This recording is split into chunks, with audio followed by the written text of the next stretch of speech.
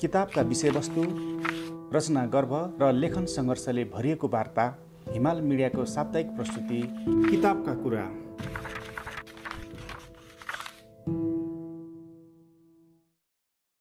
नमस्कार दर्शकबिन।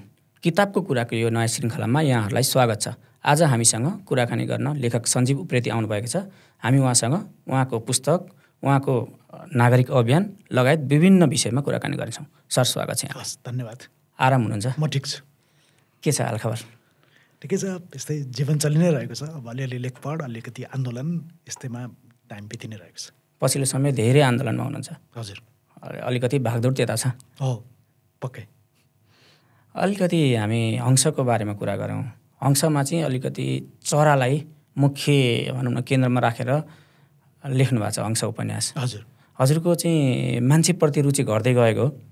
अनि त्यो होइन मलाई के लाग्यो भने चाहिँ के अरे यो चाहिँ धेरै जुन हामीले जुन संसारलाई हेर्ने जुन दृष्टिकोण छ हाम्रो त्यो चाहिँ अत्यन्तै मानव केन्द्रित भयो जस्तो चाहिँ लागेको हो। होइन? किनभने यो संसारमा चाहिँ अरू विभिन्न किसिमका जीव जनावर चरा परू पशु पक्षीहरू छन्। तिनीहरूले सबै मिलेर त्यसको आफ्नै एउटा इकोसिस्टम पनि बनेको छ। त्यसलाई हामीले के हुन्छ भने यो जति हाम्रो चाहिँ के फाइदामुखी संस्कृति के गर्दा फाइदा हुन्छ हुन त यो पुँजीवादको संस्कृति जति गहन हुँदै गयो। के हुन्छ भने मार्केट ओरिएन्टेड क्या सबै कुरा मार्केट मार्केटले नै डिटर्माइन गर्छ। अनि कति फाइदा हुन्छ अथवा कति हामीले प्राप्ति गर्न सक्छौँ त्यो अनुसार त्यसले चाहिँ जीवनलाई एउटा अर्थ दिन्छ भन्ने जुन हामी संस्कृति अनुसार गयौँ। त्यो भएपछि के हुन्छ भने यो रुख बिरुवा काट्ने समुद्रमा तपाईँको चाहिँ पोल्युसन फिजाउने होइन? हावामै पोल्युसन नेपालमै तपाईँको काठमाडौँकै कुरा गर्दा पनि यो उसले यो वर्ल्ड हेल्थ अर्गनाइजेसनले तोकेको भन्दा त यहाँ धेरै गुणा यहाँ चाहिँ पोल्युसन छ वायु प्रदूषण छ होइन? तपाईँको चाहिँ हामी सबैको जीवन चाहिँ काठमाडौँमा बस्नेको चाहिँ सरदर चार वर्ष घटिरहेको छ। है? यो कसरी भयो त? भन्दाखेरि यो हाम्रो मानव केन्द्रित भयो क्या? फाइदामुखी त्यो पनि मानव केन्द्रित। अरू जीव जन्तुहरू छन् या अरू खालको इकोसिस्टमहरू छन् भन्ने कुरा हामीले बिर्स्यौँ। अनि यो मानव केन्द्रित विश्व दृष्टि जुन छ त्यसलाई अलिकति विखण्डन गरेर हेर्दाखेरि के हुन्छ होइन? भनेर पनि मैले चरालाई केन्द्रमा राखेको हो कि? किन मानवको त्यहाँ मानवको कथाहरू पनि छन् चराको कथा कथा पनि छन्।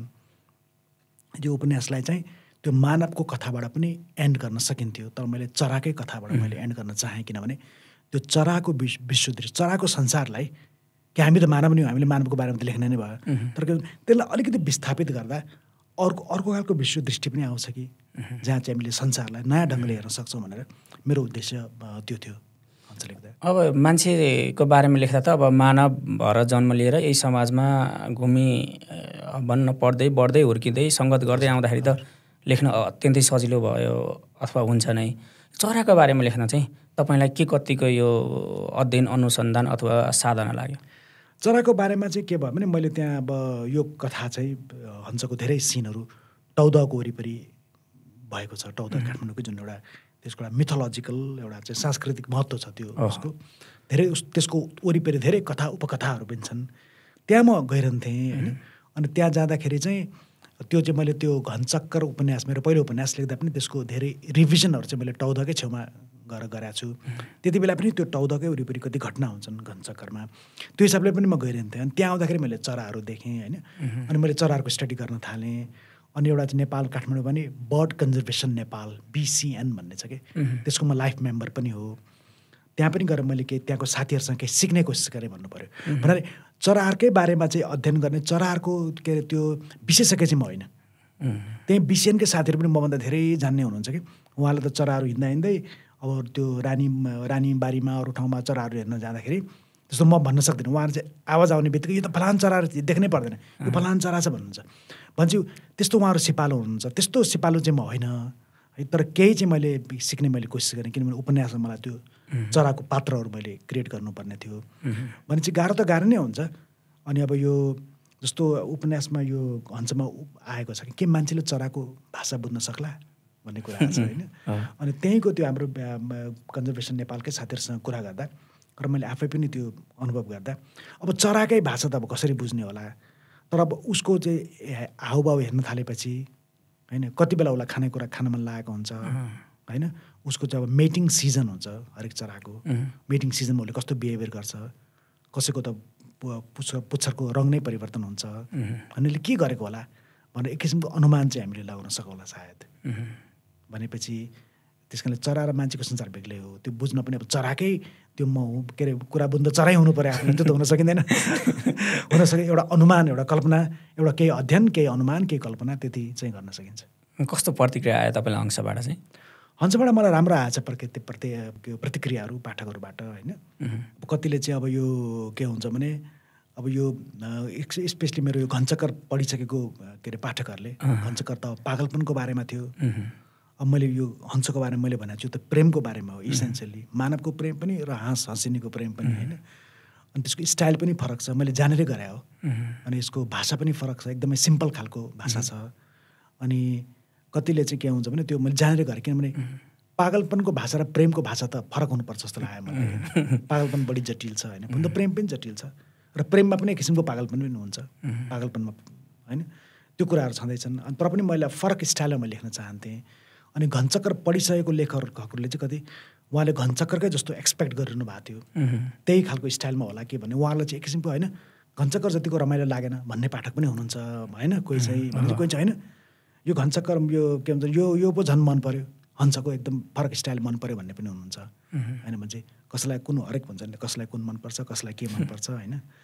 भनेपछि तर एज अ होल राम्रै आएको छ मैले यो तपाईँले के अरे उसमा चाहिँ यो चरा जनावरको पर्सपेक्टिभबाट त्यसको त्यो विश दृष्टिबाट चाहिँ त्यो हाम्रो मानव केन्द्रित मानवले जसरी हेर्छ संसारलाई मानवले जसरी राष्ट्रियतालाई बुझ्छ मानवले जसरी परिवारलाई बुझ्छ मानवले जसरी संस्कृतिलाई बुझ्छ त्योभन्दा अलिक फरक पनि तपाईँले गर्नुभयो भन्ने पाठकहरू पनि छन् भने चाहिँ त्यस्तै छ। राम्रै आएको छ खुसी नै छ। किताब प्रकाशन भएपछि एउटा प्रतिष्ठित पुरस्कारको लागि भनौँ न यो पुरस्कार पनि जित्यो तर पछि त्यसलाई तपाईँले अस्वीकार गर्नुभयो।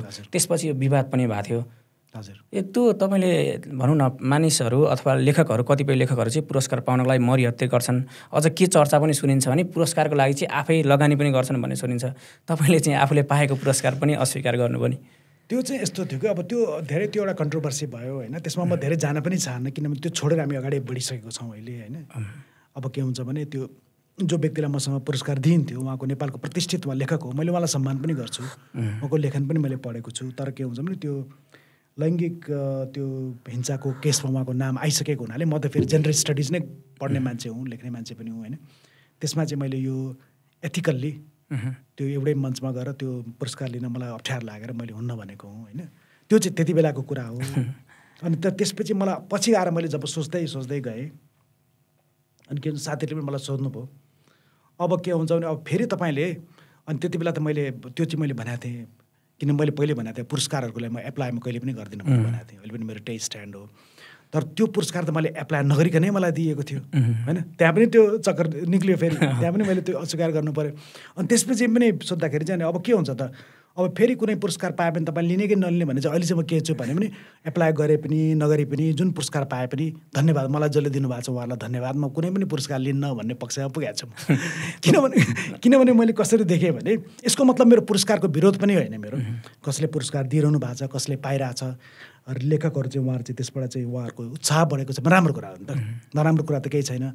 तर मैले आफूले बुझ्दाखेरि चाहिँ मेरो आफ्नो व्यक्तिगत चाहिँ के हुन्छ भने हाम्रो समाजमा हेर्नुहोस् विभिन्न किसिमको सोपान तन्त्र हायरार्कीहरू छ। होइन को ठुलो को सानो होइन को विशिष्ट कोही को निकृष्ट होइन कोही आम कोही भिआइपी कोही आम भन्ने हुन्छ नि त। अब त्यो राजनीतिक संस्कृतिदेखि लिएर सबैतिर हुन्छ। त्यो पुरस्कारले पनि के गर्दो यो चाहिँ एक नम्बरको राइटर यो चाहिँ नौ नम्बरको राइटर त्यो कसरी छुट्याउने होइन? एउटा समस्या त्यो देखेको छु मैले। अर्को चाहिँ के हुन्छ भने अहिलेको तपाईँको आधुनिक संसारमा यो के अरे पुरस्कार पनि कस्तो हुन्छ? किताब पनि कस्तो हुन्छ? एउटा वस्तु भएको छ क्या। जस्तो तपाईँले साबुन बेच्नुहुन्छ तपाईँले किताब पनि बेच्नुहुन्छ। कलम कसैले किताब बेच्छ कसैले साबुन बेच्छ होइन? कसैले चाहिँ के अरे कलम बेच्छ होइन? कसैले मोटरसाइकल बेच्छ कसैले किताब बेच्छ होइन? किताब पनि किन्ने र बेच्ने एउटा एक्सचेन्ज त भएको छ होइन? त्यो किताबको किन्ने बेच्ने प्रकाशन गर्ने त्यो होल त्यसको अर्थतन्त्रमा पुरस्कारले पनि भूमिका खेल्दो रहेछ। जुनले चाहिँ पुरस्कार पायो कुनै नाम चलेको पुरस्कार पायो भने त्यसको अब त्यही पुरस्कारको नाममा उसको किताब पनि बढी बिक्ने। भनेपछि त्यो किन्ने बेच्ने अथवा को को जुन एउटा सर्कुइट हुन्छ त्यसमा पुरस्कारले पनि काम गरिरहेको हुँदो रहेछ होइन। त्यो पनि एउटा एउटा छ मेरो लागि भनौँ न।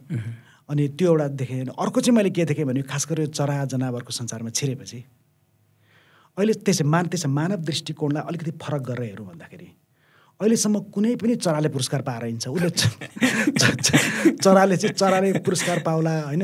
जनावरले होइन? त्यो उसले पुरस्कार त्यसको लागि उसले एप्लाई पनि गर्दो रहेछ। एउटा त उसलाई कसैलाई दिँदा पनि दिँदैन पुरस्कार नै बनाउँदैन। किनभने ऊ उसको संसारमा त त्यो हायरार्की सोपानतन्त्र छैन नि। छ एक किसिमको शक्तिको छ। बलियो चराले तर तलकोलाई चाहिँ ठुङ्न पनि सक्छ। होइन? बाघले मृगलाई खान पनि सक्छ।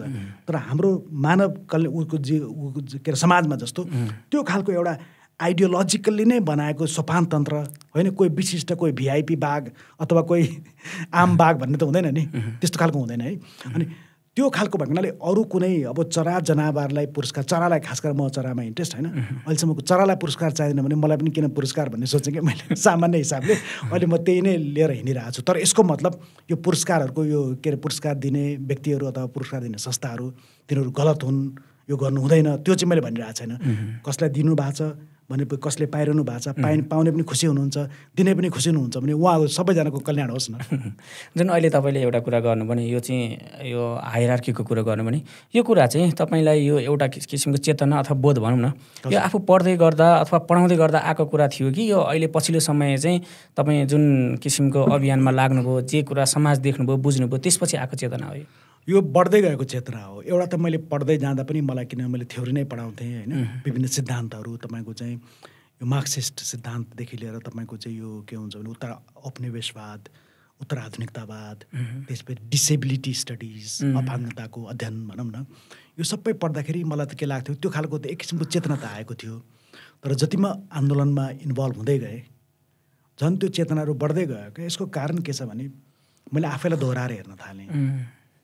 होइन अनि के भन्छ एउटा टर्म चाहिँ मैले बारम्बार चाहिँ यो त्यो मेरो विभिन्न त्यो खास गरेर ट्युबाट मैले चाहिँ टु थाउजन्ड फिफ्टिन भने चाहिँ झन्डै सात आठ वर्षै भइसक्यो। सात सात वर्षै भयो भनौँ न मैले रिटायरमेन्ट अर्ली रिटायरमेन्ट शैक्षिक अवकाश लिएपछि मसँग समय पनि थियो। अनि म दुर्बिन लिएर जङ्गलमा चराहरू पनि हेर्न हिँडिरहेको हुन्थेँ। मसँग बढी समय त मैले सोच्न थालेँ। सोच्दा सोच्दा मलाई के लाग्यो भने यति त के हुन्छ भने यो चाहिँ म चाहिँ एकदम यो निम्न मध्यम वर्गबाट अथवा दलित परिवारबाट होइन? त्यस्तो आएको भए मसँग यति बेला यति चाँडै मैले रिटायरमेन्ट लिएर दुर्बिन लिएर हिँड्ने मसँग टाइम हुन्थ्यो होला त पक्कै हुँदैन थियो नि त होइन? भनेपछि त्यसलाई पनि के हुँदो रहेछ भने मेरो आफ्नो वर्गीय लोकेसन मेरो जातीय लोकेसन यो सबै कुराले त्यसलाई चाहिँ प्रभावित पार्दो रहेछ क्या। एकदम इमान्दारीपूर्वक गरेर हेर्दाखेरि होइन? भनेपछि त्यो संरचना जुन वर्गमा जन्मेँ अथवा पुरुष भएर जन्मेँ होइन? गैर दलित परिवारमा जन्मेँ त्यसको लागि त मैले अलिकति पनि मेहनत गर्नु परेन। त्यो त आफै आयो नि त। भने जहाँ तपाईँ जन्मे त्यसैबाट तपाईँको जोडिएर तपाईँलाई त्यो लाभांश संरचनात्मक लाभांश मैले भन्छु कि त्यो आउँदो रहेछ क्या। अनि त्यसले केही मान्छेलाई अलिकति माथि केही मान्छेलाई तल भने चाहिँ विभिन्न किसिमको समाजमा विभिन्न किसिमका सोपानतन्त्रहरू रहेछन्। र त्यसले हाम्रो दैनिक जीवनलाई प्रभाव पार्दो रहेछ कि। हामी भन्छौँ सबै एउटै लोकतन्त्रमा हामी बाँचिरहेछन्। नेपालमा सबै लोकतन्त्र छन् भनेर भन्छौँ। है। तर तपाईँले विचार गरेर हेर्नुभयो भने केही लोकत मान्छेलाई त्यो लोकतन्त्रको एक्सेस बढी छ। अगेन म आफ्नै उदाहरण दिन्छु। के हुन्छ भने नि हेर्नुहोस् हामीले कस्तो भयो भने हाम्रो बानी चाहिँ र विश्वविद्यालयमा पनि हामीलाई त्यही नै सिकाइयो। विश्लेषण गर्नु पऱ्यो थ्योरीहरू पढ्नु पऱ्यो हाम्रो गेज जहिले पनि आउटवार्ड डाइरेक्टेड क्या। समाजलाई एनालाइज गर्ने अरू व्यक्तिलाई एनालाइज गर्ने पोलिटिकल पार्टीको विश्लेषण गर्ने तर आफ्नो विश्लेषण कहिले नगर्ने। सबभन्दा पहिले मान्छेले के गर्नु आफ्नै विश्लेषणबाट सुरु गर्नुपर्छ जस्तो मलाई लाग्छ क्या। होइन? आफ्नै विश्लेषणबाट सुरु गर्दाखेरि चाहिँ मलाई कस्तो लाग्यो जस्तो कि एउटा तपाईँलाई सिधा उदाहरण। केही दिन पहिले चाहिँ मलाई यो राष्ट्रिय परिचय पत्र लिनुपर्ने भयो। है? अनि मलाई पासपोर्टको पनि मलाई रिन्यू गर्नुपर्ने थियो। अनि त्यहाँ त के हुन्छ भने यो त पासपोर्टको भर्न खोज्दा त भर्ने त टाइमै दिँदैन त्यसले त पासपोर्ट त। अनि धेरै गाह्रो रहेछ त्यो। है? त्यहाँबाट परिचय पत्र पनि कत्रो लामो लाइन लगाएछन् होइन? अनि जिल्ला त्यहाँ लिन जान्छु भर्सक त किन त्यो सोर्स फोर्स त युज गर्नु भएन नि भर्सक त आफै लिनु पर्यो लाइनमा लागेको लागेको छु लिने कुनै चान्सेस छैन है। सानसानो कुरा गरिदिन्छ तपाईँको नागरिकता उता बनाएर झापाबाट त्यहाँको डाटा ल्याउनुपर्छ भन्छ कहिले के भन्छ मलाई इमर्जेन्सी भइसक्यो होइन के गरौँ? दुःख पाइरहेको छु म। अनि जाँदाखेरि जहिले पनि यस्तो परिचय पत्र आफूले नखोज्दा पनि चिनेको कोही न कोही मान्छे भेटिहाल्ने क्या। है ओहो सर मैले चिनेँ। होइन तपाईँलाई भने चिनेको मान्छे हुने फेरि तुरन्तै काम हुने। तुरन्तै काम भयो नि त मेरो त तुरन्तै काम भयो त्यसपछि। होइन? भनेपछि त्यो पनि संरचनात्मक लाभांश नै हो। जो मान्छे कोलाई वर्गको कारणले गर्दा मध्यम वर्गमा जन्मेको छ काठमाडौँको बासी हो पुरुष हो बाहुन छेत्री परिवारमा हो भने उसको सम्बन्ध पनि त्यस्तै हुँदो रहेछ क्या उसले चिनेको मान्छे त्यहाँको हुन्छ परिचय पत्रमा हुन्छ अब चिनेको त्यो काकाको भतिजा फेरि पुलिसमा हुनसक्छ। होइन? पुलिसको सालो के अरे के अरे उसमा मन्त्रालयमा हुनसक्छ। यस्तै सम्बन्धै सम्बन्धबाट हाम्रो संसार चल्दो रहेछ।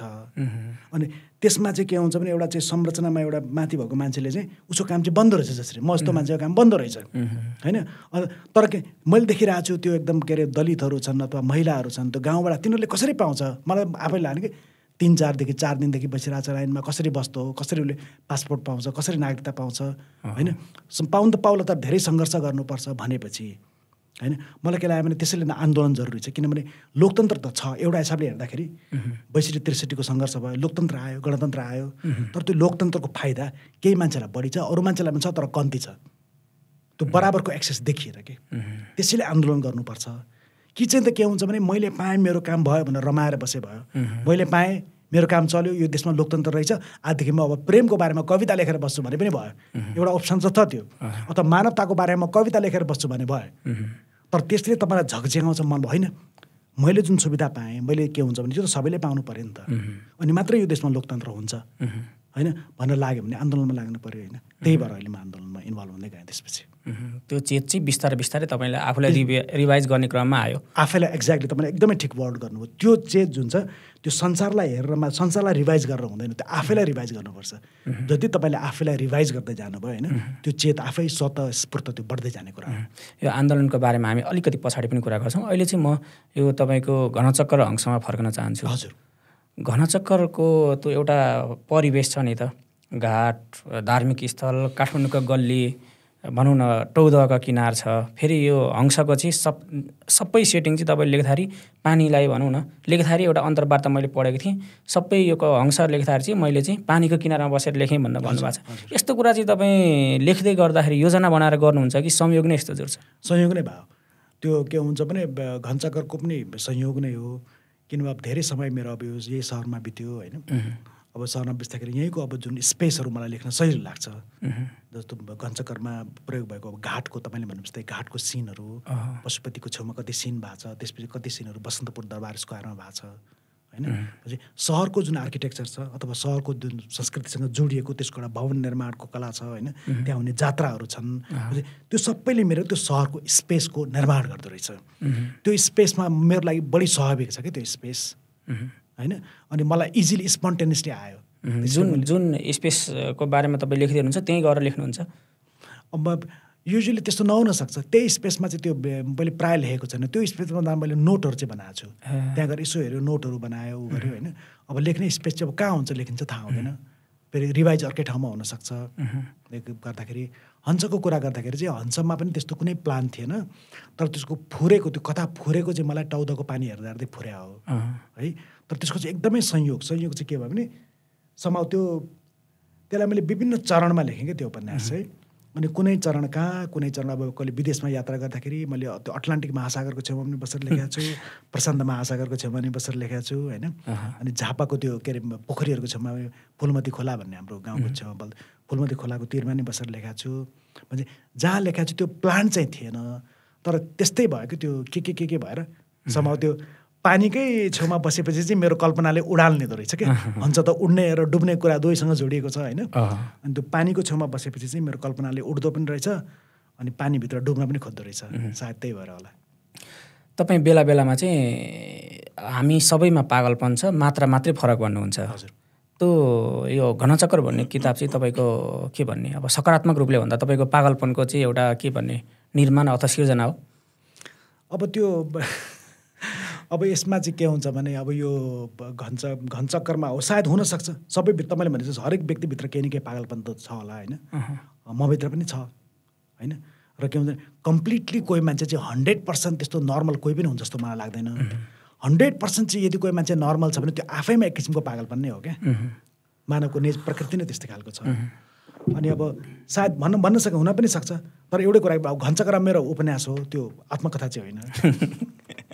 तपाईँलाई धेरैले चाहिँ त्यो तपाईँको आत्मकथा हो कि भनेर प्रश्न गर्दा रहेछन् होइन? गर्छन् गर्छन्। मैले एउटै कुरा भन्ने गरेको छु उहाँहरूलाई। मैले के भनेको छु भने यो चाहिँ उपन्यास हो यो आत्मकथा होइन। होइन?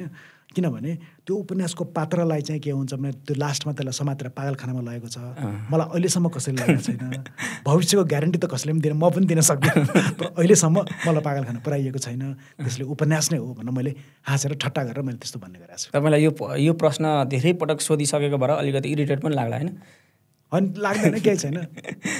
यसमा चाहिँ एउटा सन् त्यसले एक किसिमको त्यो उनी एउटा ठट्टाको एउटा माहौल क्रिएट गर्छ। के त्यस्तो मलाई लाग्छ। तपाईँको हंस पढ्दै गर्दा पनि अब घनचक्कर त छँदैछ। हंस पढ्दै गर्दा पनि यो मानवीय प्रेमको कुरा छ नि। त्यो चाहिँ कता कता बेहोसीमा भएको जस्तो होइन? मान्छे चाहिँ घृणाको घनचक्करमा फसेको जस्तो देखिन्छ। अब घनचक्करको मा त अब सम्पूर्ण बाध्यताहरूले विवश मान्छे चाहिँ विवश भएको कुराहरू छ नि त होइन। यो यस्तो यो तपाईँको उपन्यासका कथाहरू चाहिँ यस्तो डार्क थिमका चाहिँ किन? अब त्यो थाहा छैन त्यो त के हुन्छ भने कथा तपाईँको लेखेपछि होइन कथाले चाहिँ केही समयपछि त्यसले आफ्नो एउटा लजिक एउटा पहिल्याउँदै लैजान्छ होइन। अब तपाईँले भने जस्तै हंसको कुरा र हंसकरको अलिक फरक छ। हंसमा चाहिँ के हुन्छ भने त्यो प्रेमको बारेमा हो। अनि अर्को त्यो प्रश्न उपन्यासले उठाएको प्रश्न चाहिँ प्रेम कतिको सम्भव छ? अथवा प्रेम भनेकै के हो भन्ने कुरा नि?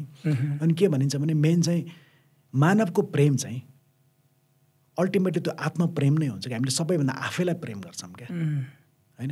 अरू कसैलाई प्रेम गर्यो? होइन?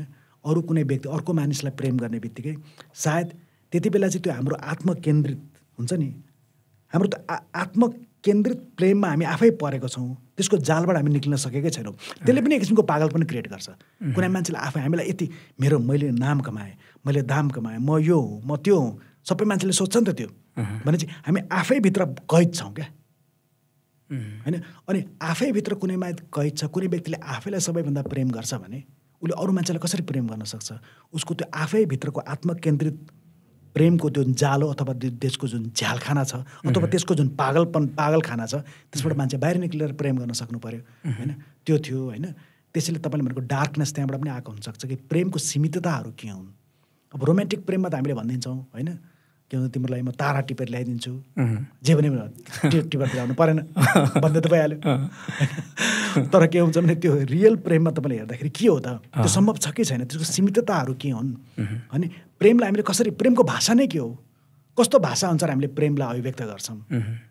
होइन? भन्ने कुरा। अनि त्यसै मान्छेले के भाषा बोल्छ? चराले के भाषा बोल्छ? त्यहाँ पनि भाषाको कुरा पनि छ क्या। प्रेम कुन भाषामा अभिव्यक्त हुन्छ? त्यो कुराहरूसम्म अलिकति खेलेको छु त्यहाँ होइन? अलि त्यसको तहहरूमा अनि घञ्चकरको कुरा घञ्चकरमा पनि तपाईँले भने जस्तै डार्कनेस चाहिँ छ। है किनभने त्यो समय नै डार्क नै समय थियो। जति बेला म सोचिरहेको थिएँ यसको बारेमा अनि त्यति बेला चाहिँ त्यो लेख्न मैले प्रारम्भिक सुरुहरू गरिरहेको थिएँ। देशमा त आन्दोलन चलिरहेको थियो जनआन्दोलन चलिरहेको थियो यत्रो मान्छेहरू मरिरहेको थिए घाइते भइरहेको थिए होइन? हत्या हिंसाहरू एकदम बढेको थियो। एउटा डार्क पिरियड नै थियो। त्यो डार्क पिरियडलाई पनि मैले एउटा त्यसलाई सामाजिक पागलपनको रूपमा मैले आफै बुझेँ होइन? आफैलाई मैले त्यसले त्यो समयलाई मैले त्यसरी व्याख्या गरेँ। होइन? किनभने यदि मानव समाज एकदमै सध्य भएको भए होइन? हामीले भन्छौँ नि मानवता हुनुपर्छ करुणा हुनुपर्छ प्रेम हुनुपर्छ। त्यस्तो खालको समाज हामीले कुरा मात्रै गर्छौँ कि त्यस्तो खालको समाजमै बस्छ भन्ने कुरा नि। होइन? कुरा त गर्न सकियो त्यसको बारेमा कविता लेख्न सकियो होइन? लेखे लेखेका छन् मान्छेले। करुणा हुनुपर्छ प्रेम हुनुपर्छ मानवता हुनुपर्छ होइन? तर वास्तविकता तर छैन। त छैन। हामीले भन्छौँ सजिलैसँग भन्छौँ हामीले जसलाई काटे पनि रगत आउँछ दलितलाई काटे पनि रगत आउँछ बाहुनलाई काटे पनि रगत आउँछ बराबर बराबर। तर वास्तवमा त बराबर छैन। होइन? त्यही मानव मानव हिसाबले त सबै बराबर हुनुपर्ने हो। मानवताकै हिसाबले त। अनि कुरा भने तपाईँ दलितको कुरा किन गर्नुहुन्छ? नारीको कुरा किन नारीले अधिकार पाउनुहुन्छ भने किन कुरा हार्नु पर्यो? नारी पुरुष सब बराबर हुन् सबैलाई काट्दा रगत आउँछ। आउँछ। तर बराबर छैनन् नि। अहिले भर्खर मिटर ब्याजको पीडितको अहिले आन्दोलनमा हामी लगाएको थियौँ। होइन? मिटर ब्याज दिने साहुलाई काट्दा पनि रगत आउँछ। त्यो मिटर ब्याज लिने जो शोषित भएको छ उसलाई काट्दा पनि रगत आउँछ। मानवताको हिसाबले त हिसाबले त बराबर हो तर वास्तवमा त बराबर छैन। बराबर छ भनेर हामी चिम्लेर बस्थ्यौँ भने त त्यहाँ त आँखा चिम्लेर बस्यो भने त अन्याय भयो त्यो त। अन्याय भयो। होइन? त्यसकारणले गर्दाखेरि त्यो कुराहरू क्या समाजमा एक एक- एकातिर हेर्दाखेरि समाजमा हाम्रो मानवता छ लोकतन्त्र छ सामाजिक न्याय छ भनेर हेर्छौँ। तर त्यसको अन्डरलाइन भित्र के छ तहमा? भनेर हेर्दाखेरि यो विभिन्न किसिमको अन्यायहरू लोकतन्त्र केही मान्छेलाई सजिलै उपलब्ध हुने अरूलाई गाह्रो हुने केही माथि अलि माथि हुने संरचनामा होइन? त्यसपछि कोही मान्छे तल हुने। अनि केही मान्छे चाहिँ संरचना माथि भएको मान्छेले अमूर्त मानवता भयो हामी बराबर छौँ हामी बराबर छौँ हामी अर्कालाई दया माया गर्छौँ भनेर भनिदियो। होइन? तर वास्तवमा चाहिँ के हुन्छ तल त पेन नै छ दुःख छ। अनि त्यसको चाहिँ त्यो विभाजन त्यो जुन कन्ट्राडिक्सन जुन छ त्यसबाट पनि त्यो त्यसको मेरो त्यो अवेरनेस त्यसको बारेमा म जति अलिकति आफै चेतन हुने कोसिस गरेँ होइन? त्यसले पनि त्यो डार्कनेस तपाईँले भन्नुभएको त्यो डार्क मुडलाई थपेको हुनसक्छ। तर एज अ होल मैले त्यसको ट्रिटमेन्ट चाहिँ मलाई लाग्छ दुइटै उपन्यासमा। त्यो त्यसको थिम अलिकति थिम थिममा डार्कनेस भए पनि मलाई लाग्छ त्यसको ट्रिटमेन्टमा चाहिँ मैले त्यो ह्युमरस वेमै गर्न खोजेको छु। कति मान्छेले भने त्यो पढ्दा हाँस्दै हाँस्दै पढियो तपाईँको उपन्यास पनि भन्नुभएको छ। जस्तो यो घनचक्करमा त्यो म पात्रको एउटा भनौँ न मानसिक अन्तर्द्वन्द अथवा मनोवैज्ञानिक अन्तर्द्वन्द्वले चाहिँ कतिपय मानिसलाई विचलित पनि तुल्याउँछ। धेरैले त्यो कमेन्ट पनि गरेको देखेको थिएँ। त्यो पात्र चाहिँ अस्पतालमा हुन्छ। अस्पतालमा भएको बेला उसले एकदम औषधि सेवन गरिरहेको बेलामा चाहिँ भोलिपल्ट म ठिक छु भनेकै आधारमा उसलाई अस्पतालले डिस्चार्ज गरिदिन्छ र उसले चाहिँ फेरि भोलि गएर प्रश्नपत्र जाँच्छ होइन? यसमा तपाईँले अस्पतालको लापरवाही पनि देखाउनु भएको छ। हाम्रो शिक्षा अथवा विश्वविद्यालयको लापरवाही पनि देखाउनु भएको छ। त्यो किताब लेखेको लगभग लगभग पन्ध्र सोह्र वर्ष अगाडि अथवा छापिएको पन्ध्र सोह्र वर्ष भइसक्यो होइन। त्यो बेला र अहिले चाहिँ तपाईँले कस्तो फरक पाउनुहुन्छ यो हाम्रो यो विश्वविद्यालय अस्पताल अथवा भनौँ न हाम्रो यो सामाजिक संरचनाहरूमा? त्यही हो दुःखको कुरा त्यही हो कि? किनभने यो जुन चाहिँ जब घनचक्कर लेखियो घनचक्कर लेखेपछि तपाईँको चाहिँ त्यसमा जनआन्दोलन भयो तपाईँको जो पहिलो जनआन्दोलन भयो त्यसपछि मान्छेले सोचे नि त। भन्दा चाहिँ अब त लोकतन्त्र पनि आयो देशमा। जे मान्छेले खोजेका थिए गणतन्त्र पनि आयो सामाजिक न्याय पनि आयो होइन? अब सबै कुरा सल्भ भयो। अब हामी उज्यालोको यात्रातिर बढ्यौँ। भन्नुको तात्पर्य उपन्यासको हिसाबमा हेर्ने हो भने सबै समाजमा भएको सबै खालको पागल पनि हरायो। समाज सध्य भयो। समाज सामान्य भयो भनेर हामीले त्यो सोचेको थियौँ। तर अहिले हेर्दाखेरि त्यसपछिको व्यतिथिहरू हेर्दा होइन त्यो के हुन्छ भने त्यो सामाजिक पागलपन चाहिँ घट्नुको सट्टा झन् बढ्दै गयो जस्तो पो लागिरहेछ अहिले त। होइन? समाज अहिले पनि समाज वास्तवमा सध्य भएको भए यो रुबी खानको ने को नेतृत्वमा आउनु भएको थियो नि न्याय न्याय के अरे नारीहरू चाहिँ नेपाल हिँडेर पैदल हेर्न आउनु भएको थियो। किन आउनु पर्यो त उहाँहरू? यो समस्या त उहाँहरूको जिल्लामै सल्भ हुनुपर्ने थियो। अनि जुन चाहिँ मुख्य अभियुक्त छ त्यसको उसलाई चाहिँ गुप्तचर सिआइबीले जाँच पनि गरिरहेछ। त्यही व्यक्तिलाई फेरि नेपाली काङ्ग्रेसले उसको सांसदमा उठायो जितायो सांसद पनि भयो बादशाह गुर्मी भन्ने। होइन? कुनै एउटा सत्य समाजमा त्यस्तो हुन्छ त हुन हुनुपर्ने नि। अनि पागलपन झन् बढेको देखिन्छ मिटर ब्याजको हेर्दा त्यस्तै देखिन्छ। होइन? अर्कोतिर त्यो वायुमा प्रदूषण भएर हामीले चार चार वर्ष हामीहरू सबैको घटिरहेछ मैले तपाईँलाई अघि नै भने। होइन? भ्रष्टाचार यस्तो चुलिएको छ। भ्रष्टाचारलाई समातिरहेको छ ठुल्ठुलो मान्छेलाई उसलाई छुट्याउने पनि उत्तिकै फेरि यहाँ तेकडम चलिरहेछ हामीलाई सबैलाई थाहा छ यो कुरा। चलि नै रहेछ भनेपछि त्यो पागलपन्तले बढेको होइन कि? झन् झन् घटेको होइन कि? सरी झन् झन् बढ्दै गएको झन् झन् फिलिँदै फि- फिँच्दै गएको विस्तारित हुँदै गएको त्यस्तो खालको बोध हुन्छ। त्यो घनचक्करको पात्रहरू चाहिँ अहिलेको समयमा भएको भए उनीहरूको मनोदशा कस्तो हुन्थ्यो? घनचक्करको पात्रहरू अब त्यसमा विभिन्न पात्रहरू छन् होइन। अब अथवा त्यो त्यो घनचक्कर किताब तपाईँले आजको समयमा आजको सेटिङमा लेखेको भए त्यो किताब बेग्लै हुन्थ्यो कि अझ? मलाई लाग्छ अझै बढी पोलिटिकल हुन्थ्यो होला। किनभने अहिले म म चाहिँ के त्यसमा पनि राजनीतिको एलिमेन्टहरू थुप्रै छ त्यहाँ होइन। तर अलि सटल वेमा छ क्या। कतिले के हुन्छ भने त्यो के हुन्छ भने त्यसमा त्यो राजनीतिक सेटायर होइन त्यो राजनीति बेलाको देशको व्यक्तित्वलाई त्यसमा प्रश्नहरू टन्ने गरिएको छ। तर त्यो चाहिँ प्रत्यक्ष नभएर अलि अप्रत्यक्ष रूपमा भित्रभित्र गएको छ। सायद त्यो अलिक बढी प्रत्यक्ष भएर आउँथ्यो कि अहिले। बढी ओपन भएर। किन अहिले मेरो आफ्नै आन्दोलनमा पनि इन्भल्भ भएपछि त्यो देशको राजनीतिमा भएको व्यतिथिहरूलाई यिनीहरूलाई जुन अहिले मैले परबाट हेरेर मैले बुझ्ने कोसिस गरिरहेको थिएँ अझै अलिक अलिक नजिकबाट अलिक राम्रोसँग बुझ्ने अहिले मौका पाएर जस्तो लागिरहेछ त्यसले त्यो कुराहरू अझै टड्कारो भएर आउ- आउँथ्यो होला सायद। भनेपछि एउटा लेखक जति समाजसँग भिज्यो जति चाहिँ अब राजनीति बुझ्यो जति चाहिँ यो हाम्रो सामाजिक संरचनाको असमानताहरू बुझ्यो त्यति नै परिपक्व अथवा त्यति नै सशक्त लेख्न सक्छ। सशक्त र परिपक्व भन्दा पनि त्यो होइन त्यसको मतलब के हो त्यो एक किसिमको लेखियो होइन अहिले बेग्लै किसिमले लेखिन्थ्यो भन्ने मात्रै हो। होइन त्यो त्यो बुझ्दाखेरि पनि बुझाइको पनि विभिन्न तहहरू हुन्छन् होइन। त्यो बुझाउँदाखेरि तपाईँले त्यो कुनै एउटा एलिमेन्टलाई त्यो बाहिरबाट तपाईँले यसो हेर्दाखेरि त्यसको एउटा बर्ड्स आई भ्यू भन्छ क्या। चराबाट माथिबाट उडेर हेर्नु नि? त्यहाँबाट माथि तपाईँले त्यसबाट तपाईँ फोटोग्राफीमा तपाईँलाई इन्ट्रेस्ट छ भने माथिबाट तपाईँले फोटोग्राफी खिच्नुभयो भने त्यसको बेग्लै आनन्द हुन्छ। माथिको सर्ट तपाईँले खिच्नुभयो भने व्हाइट सर्ट खिच्नुभयो भयो भने होइन? अब तपाईँले गएर फेरि नजिक गएर क्लोज सर्ट सर्ट लिनुभयो भने क्लोज सर्टको फेरि त्यसको बेग्लै सौन्दर्य शास्त्र हुन्छ। पछि हेर्ने फरक फरक दृष्टिकोणहरू हुन् होइन? अब अहिले भएको भए चाहिँ त्यो अलि अलिक फरक किसिमले मेरो पक्कै हुन्थ्यो होला किनभने म त्यसमा इन्भल्भ भएको हुनाले। अलिक फरक स्टाइलले लेख्थेँ होला। तपाईँको चारवटा किताब चाहिँ प्रकाशित भइसकेको छ। अहिले अब एउटा नाटक थियो एउटा दुईवटा उपन्यास भयो एउटा सिद्धान्तको कुरा भन्ने अब सिद्धान्त भनौँ न। यो चारवटा किताबमा चाहिँ तपाईँले चाहिँ आफूले भोगेको अथवा आफूले बाँचेको समय चाहिँ लेख्नु भएको छ होइन? त्यो कुरा जोडिएको छ। अहिलेको लेखनमा अहिलेको समसामयिक लेखनमा चाहिँ भनौँ न यो लेखकहरूले यो अहिलेको आफूले बाँचेको समय कतिको लेखेका छन् अथवा कतिको छुट्याएका छन्? अब म हरेक मान्छेले आफ्नै समयअनुसार लेख्ने हो? अब के हुन्छ भने यसमा फेरि अब छुट्याएको छन् अब कुनले छुट्याएन भने म त्यसको कुनै जज पनि होइन होइन? मैले कसरी जज गर्न सक्छु? हरेक राइटरले आफ्नै एउटा संसार क्रिएट गर्छ। यो उपन्यास खास गरेर उपन्यास चाहिँ एउटा संसार नै क्रिएट गर्नु पऱ्यो कि? अब हाम्रो जीवनमा जसरी विभिन्न छन् घर छन् मान्छे छन् भने जस्तै उपन्यास पनि मान्छे हुन्छन् घर हुन्छन् त्यहाँ सम्बन्ध हुन्छ अन्तर सम्बन्ध। हरेक लेखकले आफ्नो आफ्नो ढङ्गले त्यो संसार सिर्जना गर्छ होइन? त्यसले अब कतिको लेखेको छ अब उहाँले कतिको लेख्न सक्नुभयो सकेन त्यो हरेक लेखकले आफै जज गर्नुपर्ने कुरा हो त्यो होइन? त्यसो त्यो माथि बसेर त्यस्तो जजमेन्ट दिन पनि मलाई अलिक गाह्रो लाग्छ होइन? र मलाई चाहिँ लेखिरहनु भएको छ। अहिले पोजिटिभ कुरा चाहिँ धेरै नयाँ लेखकहरू आउनु भएको छ होइन? पुरानो लेखकहरू राम्रो लेखकहरू उहाँहरूले पनि लेखिरहनु भएको छ। महिला लेखकहरू आउनु भएको छ अहिले त्यसको रिप्रेजेन्टेसन कम थियो होइन? अनि जनजाति समुदायहरूबाट इभन मधेसबाट लेखकहरू आइरहनु भएको छ। जसले चाहिँ त्यहाँको चाहिँ लोकल फ्लेभर आफ्नो समुदायको कथाहरू। समुदाय कथाहरू लेखिरहनु भएको छ होइन? कुन राम्रो कुन नराम्रो भन्ने त्यो ज त्यो युनिभर्सल जजमेन्ट गर्न अलिक गाह्रो छ कि त्यो होइन? त्यसको बारेमा अथेन्टिक भएर मान्छेले लेख्छ भने त्यो त्यो राम्रै लेखाइ हो तपाईँको विचारमा त्यो पुस्तक हुन्छ नि त कस्तो पुस्तकलाई चाहिँ अलिकति हामीले भनौँ न यो हाम्रो उसमा त एउटा जजमेन्टको कुरा त भइ नै हाल्छ राम्रो अथवा उत्कृष्ट अथवा बेस्ट सेलर भन्ने हुन्छ नि त। तपाईँको विचारमा चाहिँ यो राम्रो किताब अथवा राम्रो लेखन केलाई मान्ने? प्रस्तुतिको आधारमा राम्रो मान्ने कि विषयवस्तुको आधारमा राम्रो मान्ने कि? त्यो चाहिँ के हुन्छ भने त्यो तपाईँको हेरेर हुन्छ।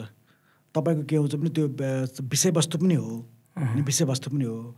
तर त्यो विषयवस्तुलाई कसरी प्रस्तुत गरिन्छ त्यो पनि हो। स्टाइलको कुरा पनि आउँछ। विषयवस्तु भनेको तपाईँले कन्टेन्टको कुरा आयो। सब्जेक्ट म्याटर होइन। र स्टाइल भनेको थिमको कुरा आयो होइन। दुइटै राम्रो हुनुपर्छ जस्तो लाग्छ मलाई। अब त्यो कहिले कहिले के हुन्छ भने यो चाहिँ अब कति विषयवस्तु अब किनभने अल्टिमेटली त संसारमा त्यति धेरै विषयवस्तु पनि छैनन् क्या। कति विषय मान्छेको प्रेम घृणा संवेग होइन त्यही भावनाहरू हुन्छन्। संसारमा व्यथिति पनि छ अब विभिन्न समस्याहरू छन्। त्यो विषयवस्तुको नौलोपन अफकोर्स त्यो हुँदा पनि नौलोपन केही न केही त भइहाल्छ। त्यो नौलोपन पनि महत्त्वपूर्ण होला। अनि त्यसलाई कसरी प्रस्तुत गरिन्छ त्यो पनि महत्त्वपूर्ण होला होइन? कुन लेखकले कसरी त्यसलाई प्रस्तुत गर्छ भन्ने कुरा होइन? म्हणजे प्रस्तुतिकरण विषयवस्तु यो सबै कुराहरू मलाई लाग्छ एकअर्कासँग जोडिएकै हुन् कि यिनीहरू कुराहरू। अब यसैबाट चाहिँ अब कसरी उत्कृष्ट? मलाई त उत्कृष्ट के हो? कसरी हो भन्ने कुरा मलाई भन्न अलिक गाह्रो लाग्छ कि यो कुराहरू। होइन कसरी म जज गर्ने? अथवा त्यो जज गर्ने मेरो अधिकार के छ जस्तो लाग्छ मलाई होइन? अनि बेस्ट सेलिङलाई बेस्ट सेलरलाई चाहिँ त्यो चाहिँ त्यसलाई चाहिँ यार्ड स्टिक बनाउन सकिँदैन जस्तो लाग्छ मलाई। किताब चाहिँ बेस्ट सेलिङ विभिन्न कारणले गर्दाखेरि हुन्छन्। खास गरी नेपाल जस्तो देशमा चाहिँ। अब सानो ठाउँ छ यहाँ होइन सबैले एकअर्कालाई चिनेकै हुन्छन्।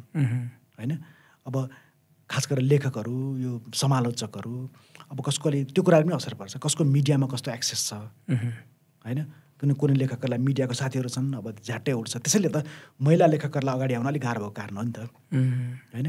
जस्तो हाम्रो पुरुषहरूको के त्यो पनि त्यही संरचनात्मक लाभांशकै कुरा हो। हामी पुरुषहरूसँग अलिक बढी टाइम हुन्छ। नेपालको जुन यो पुरुष प्रधान समा समाजमा बाँच्छ त्यसको संरचना अनुसार बेलुका केटाहरूलाई मैले देख्छु। अलिकति समय हुन्छ उहाँहरू सोसियलाइज गर्ने।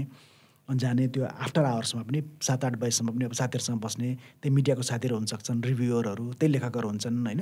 त्यो बस्दा त्यो रमाइलो वातावरण हुन्छ। त्यसले गर्दा पनि उनीहरूलाई सम्बन्ध विस्तार गर्न सहिलो हुन्छ उनीहरूको रिभ्यू आउन सहिलो हुन्छ। अब नारीहरूलाई चाहिँ नारी लेखकहरूलाई गाह्रो छ। बेलुकाको समय उनीहरूले आफ्नो परिवारलाई दिनुपर्ने हुन्छ अथवा अप्ठ्यारो उहाँहरूलाई महसुस हुन्छ। त्यो जुन स्पेसमा उहाँहरू जम्मा हुनुहुन्छ त्यो स्पेसमा जान स्पेसमा जान अपवादहरू जहाँ पनि हुन्छन् हुनुहुन्छ। तर त्यो गाह्रो हुनसक्छ। त्यो कारणले गर्दा उहाँहरूलाई त्यो ब्याचलर हुन पनि अलिकति गाह्रो भइरहेको हुनसक्छ। अब कति राम्रो किताबहरू पनि ब्याचलर भएका पनि छन्। होइन? तर केही एकदमै राम्रो किताबहरू ब्याचलर नभएका पनि छन् चल्दै पनि नचल्ने पनि छन्। अब एउटा यो चितवनको एउटा लेखक हुनुहुन्छ भुपिन भन्ने उहाँले एन्भाइरोमेन्टको बारेमा प्रकृतिको बारेमा पनि लेख्नुहुन्छ। कविताहरू र उहाँको एउटा राम्रो किताब आएको थियो कि मैदारो भन्ने। मलाई मन परेको उपन्यास हो त्यो। त्यो निकै राम्रो हुनुपर्ने त्यो धेरै त्यसको बिक्री हुनुपर्ने चल्नु पर्ने भनेको त्यस्तो चलेन त्यो। होइन? तर त्यसको मतलब त्यो त्यो के अरे कमसल रचना भन्ने पक्कै होइन। त्यस्तो राम्रो रचनाहरू पनि हुन्छन्। भने बेस्ट सेलिङ त्यसको यार्ड स्टिक ब्यास कुनै किताब बढी ब्यास्ट सेलर हुन्छ त्यस कारण त्यो राम्रो हो भन्ने चाहिँ त्यो चाहिँ अलिकति गाह्रो कुरा हो। त्यो चाहिँ त्यति उयो लागिँदैन कि। बरु संसारको नेपालको मात्र होइन यो संसारभरिकै तपाईँले ट्रेन्डहरू हेर्दाखेरि पच्चिस तिस वर्ष पचास वर्षको त्यो एउटा हिस्ट्रीहरू हेर्दाखेरि चाहिँ युजली चाहिँ के देखिन्छ भने कुनै किताबहरू चाहिँ एकदमै ब्याचलर नभए पनि लामो समय बिस वर्ष पच्चिस वर्ष पचास वर्ष भए पनि केही न केही चाहिँ बिकि नै रहेको हुन्छ क्या। पछि त्यसलाई चाहिँ विभिन्न जेनेरेसनको मान्छेहरूले त्यो मन पराउने मान्छेहरू निक्ले भनेपछि त्यो चाहिँ त्यो सफलताको एउटा ऊ हो कि जस्तो मलाई लाग्छ। पक्का चाहिँ मलाई छैन होइन। पुस्तकको आयुले चाहिँ आयुले र कति समयसम्म त्यसले मान्छेलाई त्यो विभिन्न जेनेरेसनको मान्छेलाई कति तान्न सक्छ होइन? त्यो पनि एउटा त्यो एउटा यार्डस्टिक हो कि जस्तो लाग्छ मलाई।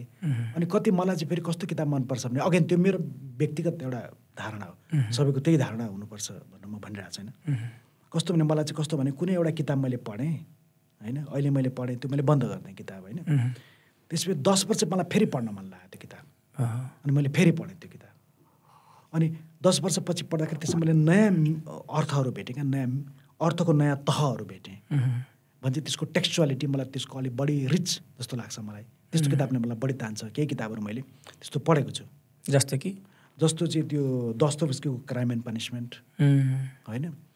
अनि त्यसपछि त्यो पनि एउटा उदाहरण हो। अब old man and the sea हेमिङ बेको मैले केटाकेटी नै हुँदाखेरि पढेको हो होइन? त्यसलाई मैले त्यति बेला एक किसिमले बुझेँ। होइन? अब तिस पैँतिस बाह्र वर्ष हुँदाखेरि मैले पढ्दाखेरि त्यसलाई अर्को किसिमले बुझेँ। होइन? मैले के हुन्छ भने यो ट्युबबाट रिटायर हुने बित्तिकै पनि मैले पढाएँ त्यसमा मैले अर्को तह मैले पहिले नबुझेको। नयाँ नयाँ अर्थहरू मैले त्यसमा भेटेँ। अनि क्राइम एन्ड पनिसमेन्ट पनि मलाई त्यस्तै फिलिङ भएको थियो। होइन अरू पनि किताबहरू छन् होइन?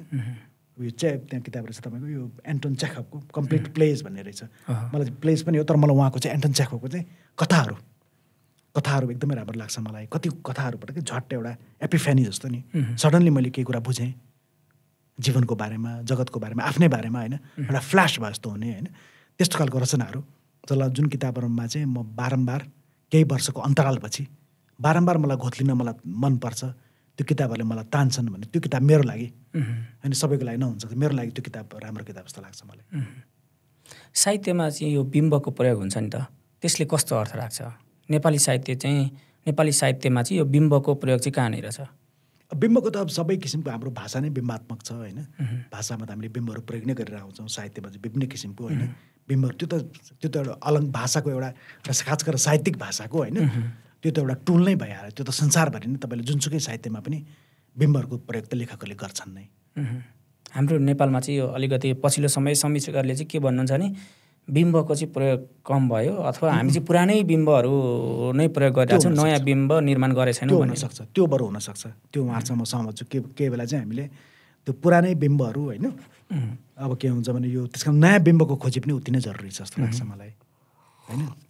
अब जस्तो अब के भन्नु सिम्पल तपाईँको चाहिँ अब फुल गुलाबको फुल होइन अथवा के हुन्छ शान्तिको बिम्ब होइन अथवा त्यस्तो खालको जुन छ नि त्यो चाहिँ कतिवटा चाहिँ चलाउँदा चलाउँदा अथवा कुनै एउटा पर्टिकुलर बिम्ब छ भने त्यो चल्दा चल्दा ह्याक्निड भन्छन् क्या ओभर युज भइसक्यो त्यो। भन्छ नयाँ बिम्बको खोज खोजी पनि मान्छेले गरिरहनुपर्छ। होइन? कहिले कहिले चाहिँ के नेपालमा यति धेरै बहुल संस्कृतिहरू छन्। कतिचोटि चाहिँ के हुन देखिन्छ भने नेपालमा चाहिँ किनभने यो चाहिँ नेपाली भाषाकै प्रभाव छ नेपालमा स्वाभाविक हो। होइन? अनि अब सबै मिडिया पनि ने, नेपाली भाषी मिडिया मिडियाहरू नै छन्। होइन? हामीहरू सबै नेपाली भाषामै अब अङ्ग्रेजी त छँदैछ। नेपाली भाषामै केही ट्रेडिसनबाट हामी धेरै सहा छौँ। भनेपछि यहाँको बिम्ब चाहिँ त्यो के हुन्छ भने त्यो त्यो नेपाली भाषा खास गरेर पहाडे खस संस्कृतिसँग जोडिएको बिम्बहरू होइन? त्यो चाहिँ के अरे त्यो नै आउँछ होइन? द लाली गुराँस। होइन? लाली गुराँस एउटा राष्ट्रियताको बिम्ब अथवा के को बिम्ब। तर मधेसमा जन्मेको मान्छेले लाली गुराँस देखेकै हुँदैन उसलाई है? अनि चाहिँ के अरे त्यो हाम्रो यो राजनीतिक विश्लेषक सिके लालसँग मेरो एकचोटि कुरा हुँदा उहाँले भन्नुभएको थियो। उहाँले पढ्दाखेरि पनि त्यो चाहिँ पहिले चाहिँ एउटा पञ्चायत परिचय होइन। के यस्तै के हामीले पढ्नु पर्थ्यो त्यो त्यति बेला कि त्यति बेलामा चाहिँ त्यहाँ चाहिँ त्यो लाली गुराँसको कुरा आउँदाखेरि त्यो उहाँको त्यो उसमा चाहिँ उहाँले जनकपुरमा जहाँ पढ्नुहुन्थ्यो उहाँको टिचरले उहाँलाई भन्नु ऊ टिचरले पनि देखाएको छैन लाली गुराँस के हो? अनि उहाँले भन्थ्यो लाली गुराँस भनेको यो गुलाब जस्तै हो तर गुलाबको जस्तो यसमा सुगन्ध हुँदैन भन्नुहुन्थ्यो अरे। कि भनेपछि हामीले यस्तै बहुल संस्कृति छन् हाम्रोमा त होइन? त्यो विभिन्न संस्कृतिबाट चाहिँ त्यहाँको पनि बिम्बहरू लिनुपर्छ जस्तो लाग्छ। त्यो भएर नयाँ खालको बिम्बहरू हामीले बनाउँछौँ एउटै खालको बिम्ब मात्रै नगरेर। जस्तो यो लेखनकै कुरा गर्दाखेरि अघि मैले समीक्षकहरूको कुरा गरेँ। लेखक हाम्रो नेपाली लेखकहरू चाहिँ यो पुनर्लेखन गर्दैनन्। पुनर्लेखन गर्नुपर्दा उहाँहरूलाई चाहिँ ज्वरो आउँछ। उहाँहरूलाई चाहिँ छिटो छिटो किताब छाप्न हतार हुन्छ। त्यसले गर्दा चाहिँ राम्रो विषयवस्तु भएको किताब पनि प्रस्तुतिमा चुक्छन् शैलीमा चुक्छन् भन्छन् नि। यो कुरासँग चाहिँ म एकदमै सहमत छु। हाम्रोमा चाहिँ के हुन्छ भने एउटा चाहिँ एउटा थियो कि त्यो वेस्टर्न तपाईँको कवि Wordsworth. Poetry is a spontaneous overflow of powerful feelings कविता भनेको तपाईँको एकदमै तपाईँले एकदमै डिपली फिल गर्नुभएको इमोसन तपाईँको भावनाहरूको प्रवाह हो एकदमै स्पन्टेनियस प्रवाह हो होइन? अनि त्यो खालको चाहिँ त्यो त्यो रोमान्टिक के अरे त्यो उसको थियो रोमान्टिक ट्रेडिसनको हो नि त वर्ड्सवर्थ त। नेपालमा पनि देवकोटा लगायतका यो अरू लेखकहरू जुनलाई हामीले राष्ट्रिय कविहरू मान्यौँ इत्यादि होइन? महाकवि के के मान्दै आयौँ। त्यो गएपछि त्यही त्यही रोमान्टिक उसको पनि एक किसिमको प्रभाव छ। कस्तो त्यो अनुसार चाहिँ अब के हुन्छ भने त्यो लेख्ने लेखेपछि त्यसलाई रिभाइजै नगर्ने एउटा पावरफुल एक्सप्रेसन स्पोन्टेनियस प्रभाव भएपछि भयो अब त्यो। अब के गर्न मिल्दैन त्यो हुन्छ होइन? म चाहिँ त्यो अर्कै स्कुलको मलाई चाहिँ त्योभन्दा जति हामीले रिभाइज गर्यो आफ्नो कृति होइन? त्यति नै पावरफुल हुन्छ जस्तो लाग्छ। मलाई फर्स्ट मलाई मेरो फर्स्ट ड्राफ्ट लेख्न मलाई धेरै टाइम लाग्दैन। घनचक्करको होल मलाई फर्स्ट ड्राफ्ट लेख्नको लागि मलाई एक महिनामै लेखाएको थिएँ मैले फर्स्ट ड्राफ्ट। घन चक्कर घनचक्कर लेख्दा होइन? तर त्यसलाई मलाई रिभाइज गर्न मलाई एक वर्षभन्दा बढी लाग्यो। होइन रिभाइज गर्नु मल्टिपल एकचोटि हेऱ्यो फेरि चित्त बुझ्दैन होइन। हन्सर पनि मैले बारम्बार रिभाइज गरेको हो। जति रिभाइज गरेँ त्यति राम्रो हुन्छ जस्तो लाग्छ। अनि तर तपाईँले एकदमै सही हो। यो चाहिँ कसरी पनि मैले थाहा पाएँ भने मेरो पार्टनर डाक्टर अर्चना थापाले एउटा प्रकाशन गृह चलाउनुहुन्छ अक्षर क्रिएसन भन्ने होइन। अनि उहाँले पनि केही पब खास गरेर नारी लेखकहरूको उहाँ बढी छाप्नु त उहाँलाई प्रोत्साहन दिन गर्नु पऱ्यो भनेर बढी छाप्नुहुन्छ तर पुरुष लेखकको पनि छाप्नुहुन्छ। अनि उहाँलाई चाहिँ विभिन्न यो सबमिसनहरू आइरहेको हुन्छ लेखकले? छाप्नु पऱ्यो भने पठाइरहेको हुन्छन् होइन? प्रत्यक्ष रूपमा मलाई थाहा हुँदैन। त्यसको के के भइरहेछ भने सामान्य जानकारी मलाई अर्चनाजीबाटै थाहा हुन्छ। अनि उहाँको चाहिँ के भन्छ लेख उहाँको मेन चाहिँ समस्या त्यही छ। लेखकहरूले रिराइट गर्नै मान्दैनन्। लेखेर एउटा पठायो होइन पढेपछि ल यो यो गर्नु नि त भनेपछि केही लेखकहरूले गर्नुहुन्छ। फेरि केही लेखकहरूले एकदम इमान्दारीपूर्वक गर्नु पनि भएको छ। धेरै लेखकहरूलाई चाहिँ त्यो भएपछि त मेरो कथाको उनै गयो एउटा सत्व नै हरायो होइन? मेरो त एउटा मैले एउटा फिलिङ थियो भन्ने कुरा। गाह्रो चाहिँ गाह्रो हो किनभने हरेक लेखकलाई फेरि हरेक त्यो आफूले लेखेको हरेक सेन्टेन्ससँग प्रेम हुन्छ क्या। होइन त्यो कसरी काट्ने भन्ने हुन्छ है। तर एकदमै बेला बेला रिभिजन गर्दा चाहिँ आफैप्रति एकदम निर्दय पनि हुनुपर्छ लेखकले। मलाई त्यो सेन्टेन्स मन परेको छ। तर त्यसको ओभरअल तपाईँको संरचना ओभरअल त्यो कथावस्तुको उपन्यासको जेको त्यसको संरचनाभित्र त्यो फिट भइरहेको छैन त्यो डिस्क्रिप्सन अथवा त्यो वाक्य। त्यसलाई निर्ममतापूर्वक काट्न पनि तयार हुनुपर्छ।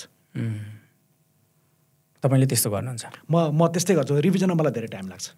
ए अब के अरे घनचक्करकै कुरा गर्दा पनि तपाईँले प्रकाशित भइसकेपछि पनि फेरि पुनर्लेखन गर्नुभयो किनकि धेरै पाठकहरूले बुझिएन अथवा यो अलिकति जटिल भयो भनेपछि तपाईँले पुनर्लेखन पनि गर्नुभयो होइन? हो हो सही कुरा हो।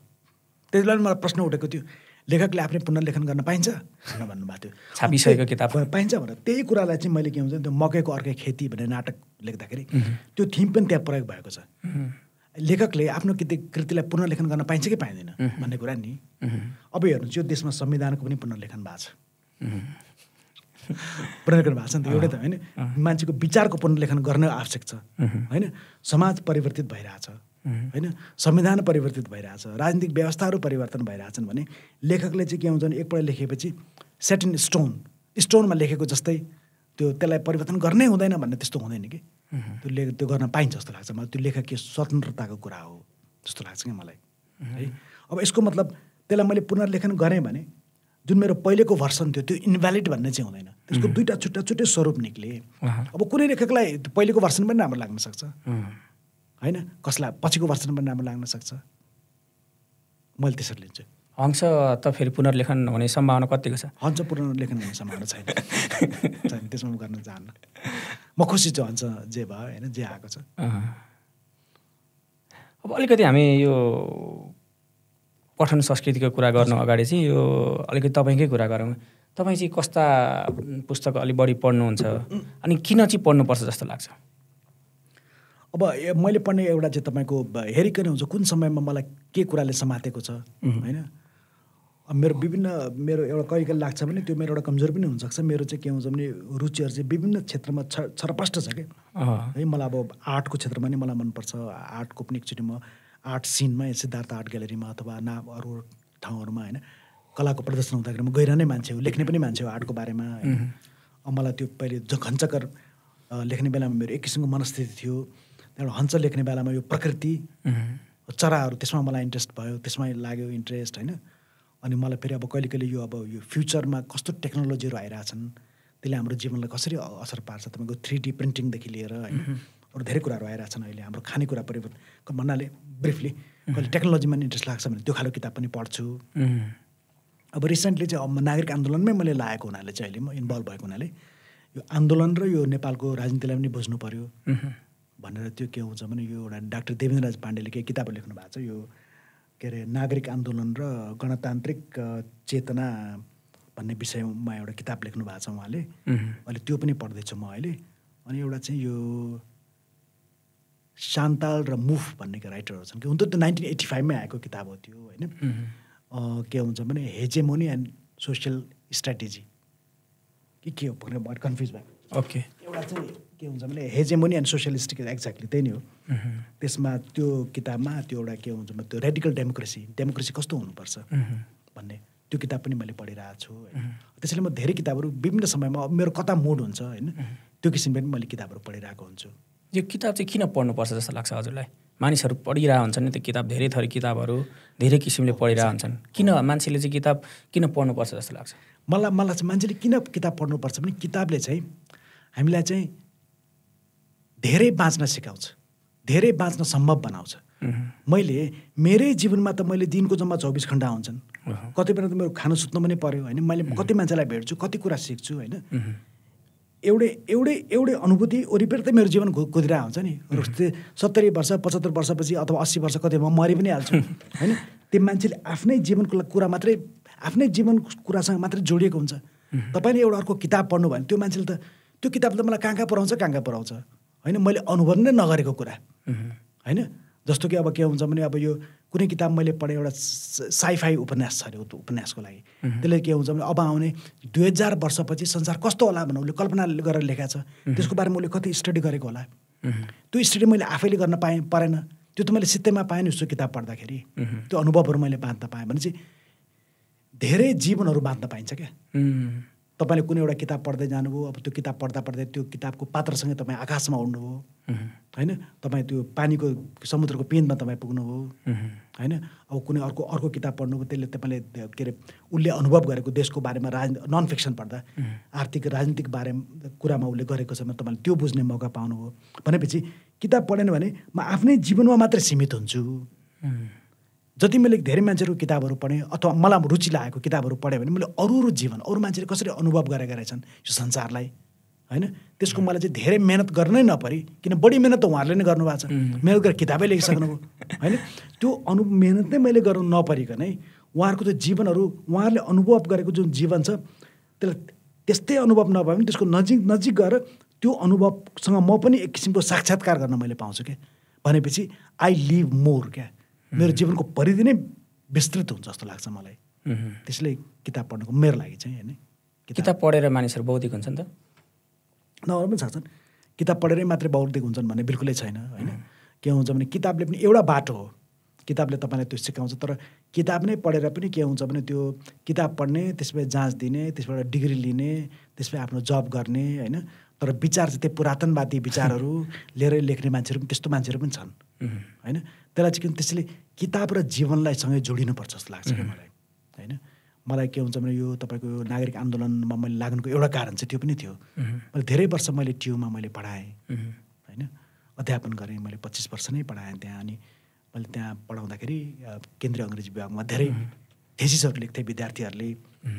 अब थेसिसहरू त लेख्ने अब कस्तो हुन्छ भने अब अमेरिकामा टोनी मोरिसनको किताबमा चाहिँ के भने अश्वेतहरूलाई कसरी देखाइएको छ? भनेर थेसिस लेखेको छ। हजुर।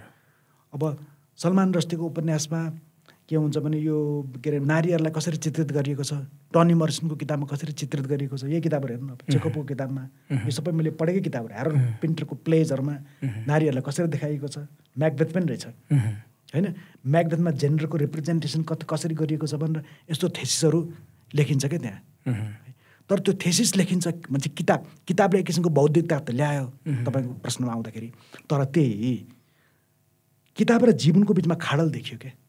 तर यहाँ तपाईँको माइतीघर मण्डलामा रुबी खानको त्यो होल टिमहरू सत्रजना वुमनहरू चाहिँ हिँडेर आउँदा र उहाँहरू महिनौसम्म एक दिन होइन दुई दिन होइन महिनौसम्म बस्दा दुई तिन राउन्ड आउँदा दुई तिन राउन्ड गरेर जम्मा चार पाँच पाँच महिना त उहाँहरू त्यहीँको माइतीघरको माइतीघरमै बस्नु भएको थियो। जेन्डरको बारेमा त्यत्रो के अरे थेसिस लेख्ने विद्यार्थीले अथवा त्यसको बारेमा लेखाउने शिक्षकहरूले त्यसको बारेमा अलिकति पनि संवेदनशीलता नदेखाउँदा होइन अथवा के भएर छ? उनीहरूको आन्दोलनमा सहयोग नै गरौँ लागौँ भनेर म भन्दिनँ सबैलाई त्यो टाइम नहोला। तर के भएर यसो बुझौँ त एकचोटि होइन? ओ एकचोटि गफै गरेर भयो भने गरौँ। जेन्डरमै काम गरिरहेछ भने त जेन्डर त मरिरहेछ सडकमा होइन? त्यो खालको अलिकति पनि टोटल कट अफ यहाँ चाहिँ के हुन्छ भने ल उसमा चाहिँ यो उसमा चाहिँ के अरे यो फलानु राइटरकोमा चाहिँ के अरे अफ्रिकन अमेरिकनहरूलाई कसरी दर्शाइएको छ? होइन? यसमा चाहिँ के हुन्छ भने यो नाइन्टिन सेन्चुरीको चाहिँ के उसमा चाहिँ के हुन्छ के अरे ट्वेन्टी सेन्चुरीको चाहिँ अमेरिकन नोभेलहरूमा उपन्यासहरूमा होइन? के अरे काला अश्वेतहरूमाथि भएको अत्याचारलाई कसरी दर्शाइएको छ भनेर चाहिँ थिसिस लेख्ने पढ्ने पढाउने। तर यहीँ चाहिँ रुकुम हत्याकाण्ड हुँदाखेरि दलितमाथि अधिकार हुँदाखेरि छजना युवाहरू मरेका छन्। एक शब्द पनि नबोल्ने। अथवा त्यसको बारेमा थाहै छैन उहाँहरूलाई। भनेपछि हामी कस्तो संसारमा बाँचिरहेका छौँ जहाँ चाहिँ एकतिर बौद्धिकता र एकातिर त्यो मान्छेको सफरिङ जुन भइरहेछ जीवन। बौद्धिकता र त्यो जीवनमा चाहिँ एकदमै ग्याप देखियो क्या त्यो। है भने तपाईँले भने चाहिँ किताब पढ्ने बित्तिकै त्यो मान्छे चाहिँ एउटा चाहिँ के हुन्छ भने त्यो उसमा चाहिँ त्यो चेतना नै खुल्ने भन्ने हुँदैन। तर किताबले बाटोहरू चाहिँ उसलाई देखाउँछ। है त्यो बाटो लिएर तपाईँ कहाँ पुग्नुहुन्छ? होइन? त्यो चाहिँ अब तपाईँ आफैमा निर्भर गर्ने कुरा हो। र त्यो बाटो हेर्दै जाँदाखेरि त्यही म अघि तपाईँलाई भने हाम्रो दृष्टि चाहिँ आउटवार्ड डिरेक्टेड हामीले संसारलाई हेर्ने विश्लेषण गर्ने त्यो पनि गर्नुपर्छ। त्यो गर्नुपर्छ भने राजनीतिकलाई राजनीतिलाई विश्लेषण गर्ने संस्कृतिलाई विश्लेषण गर्ने त्यो कुरा त छँदैछ। तर साथसाथै क्यामेराको गेजलाई भित्र पनि घुमाउनु पऱ्यो क्या अलिकति। र आफैलाई हेर्नु पऱ्यो। आफैलाई विश्लेषण गर्नु पऱ्यो।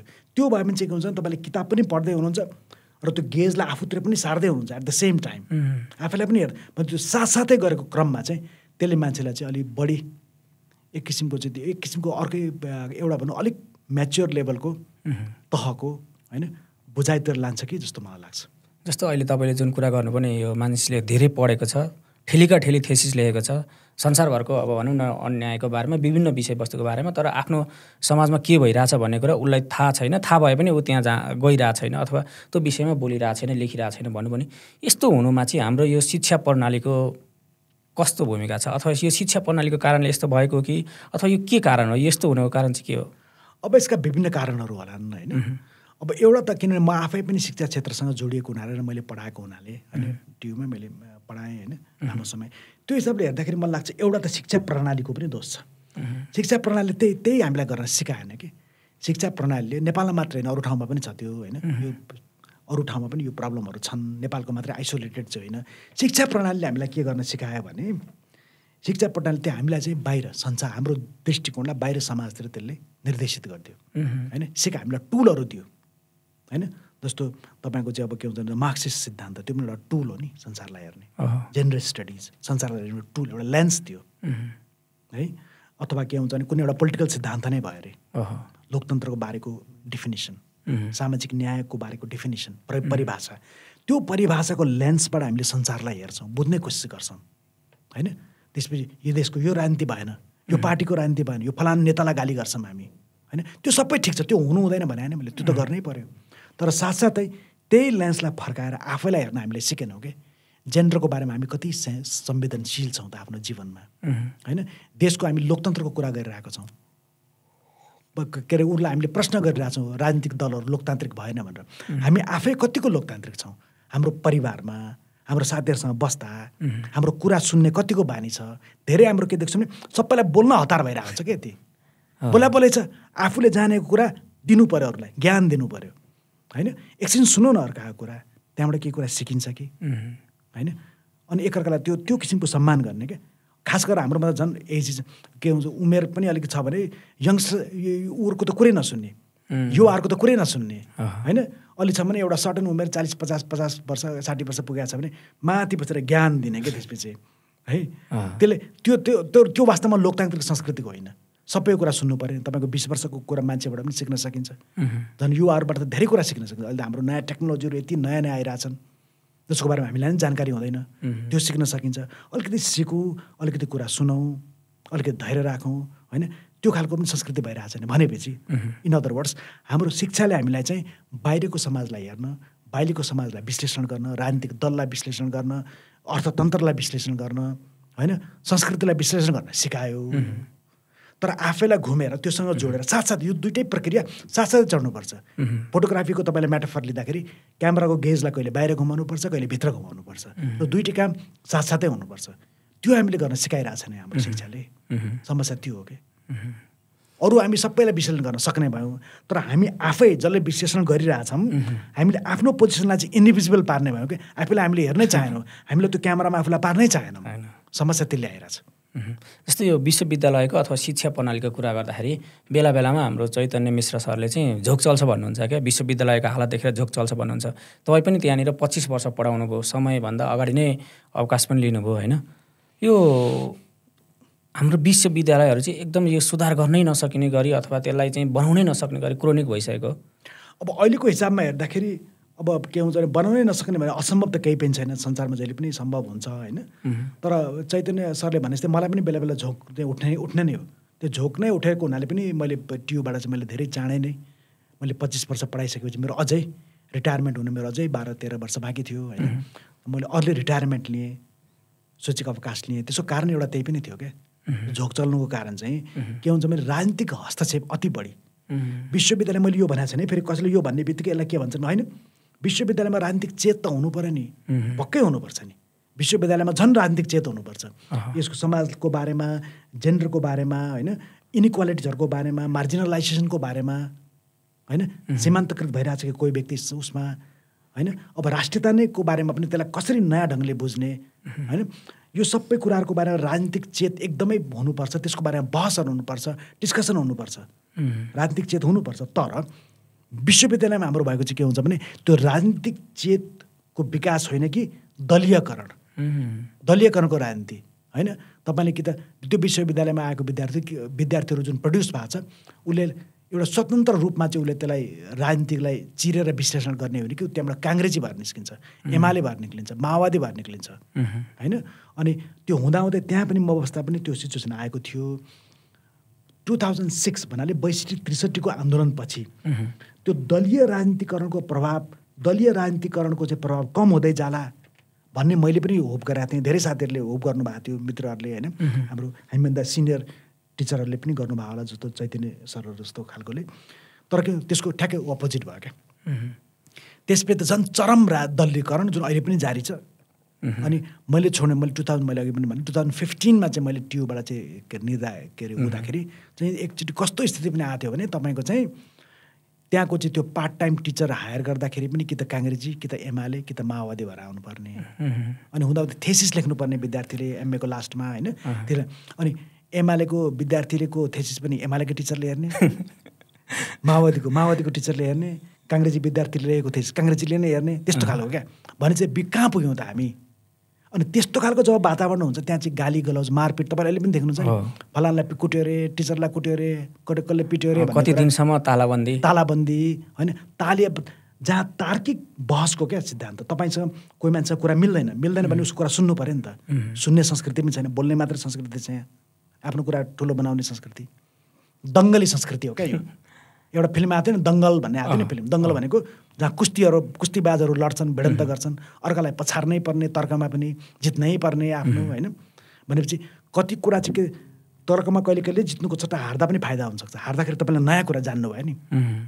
होइन मेरो तपाईँको विचारको क्षितिज अझै फराकिलो हुनसक्छ तर यहाँ चाहिँ जित्नै पर्ने त्यो खालको दङ्गली एउटा मानसिकता अर्को चरम राजनीतिकरण त्यसले गर्दाखेरि के हुन्छ भने त्यहाँ चाहिँ तार्किक परम्परा जुन एउटा डेभलप हुन्छ नि विश्वविद्यालयमा त्यो हुन सकेन। अब जहाँ तार्किक परम्परा डेभलप हुँदैन त्यहाँ त यस्तै गाली गलौज मारपिट कुस्ती दङ्गल यस्तै परम्परा चल्छ। त्यही भइरहेछ अहिले। जस्तो हाम्रो समाज कस्तो हुने भन्ने कुरा चाहिँ हाम्रो विश्वविद्यालय कस्तो छ त्यसले निर्धारण गर्छ भनिँदो रहेछ होइन? अब यो विश्वविद्यालयको हालत सुध्रेको छैन। अब यो हेर्दाखेरि हाम्रो समाज अथवा हाम्रो भावी पुस्ताको भविष्य के होला? भविष्यको भविष्यमा एकदमै त्यो पेसेमिस्ट पनि हुनु हुँदैन हेर्नुहोस् है। अब सबै बर्बादै छ भनेर बस्यो त झन् के गर्ने होइन। मान्छेले हामीले जहिले पनि आशावादी नै हुनुपर्छ होइन। त्यसले विश्वविद्यालय पनि अब चेन्ज हुनु पऱ्यो त्यसलाई दबाब दिनु पऱ्यो त्यसैले त हामी नागरिक आन्दोलनमा छौँ नि।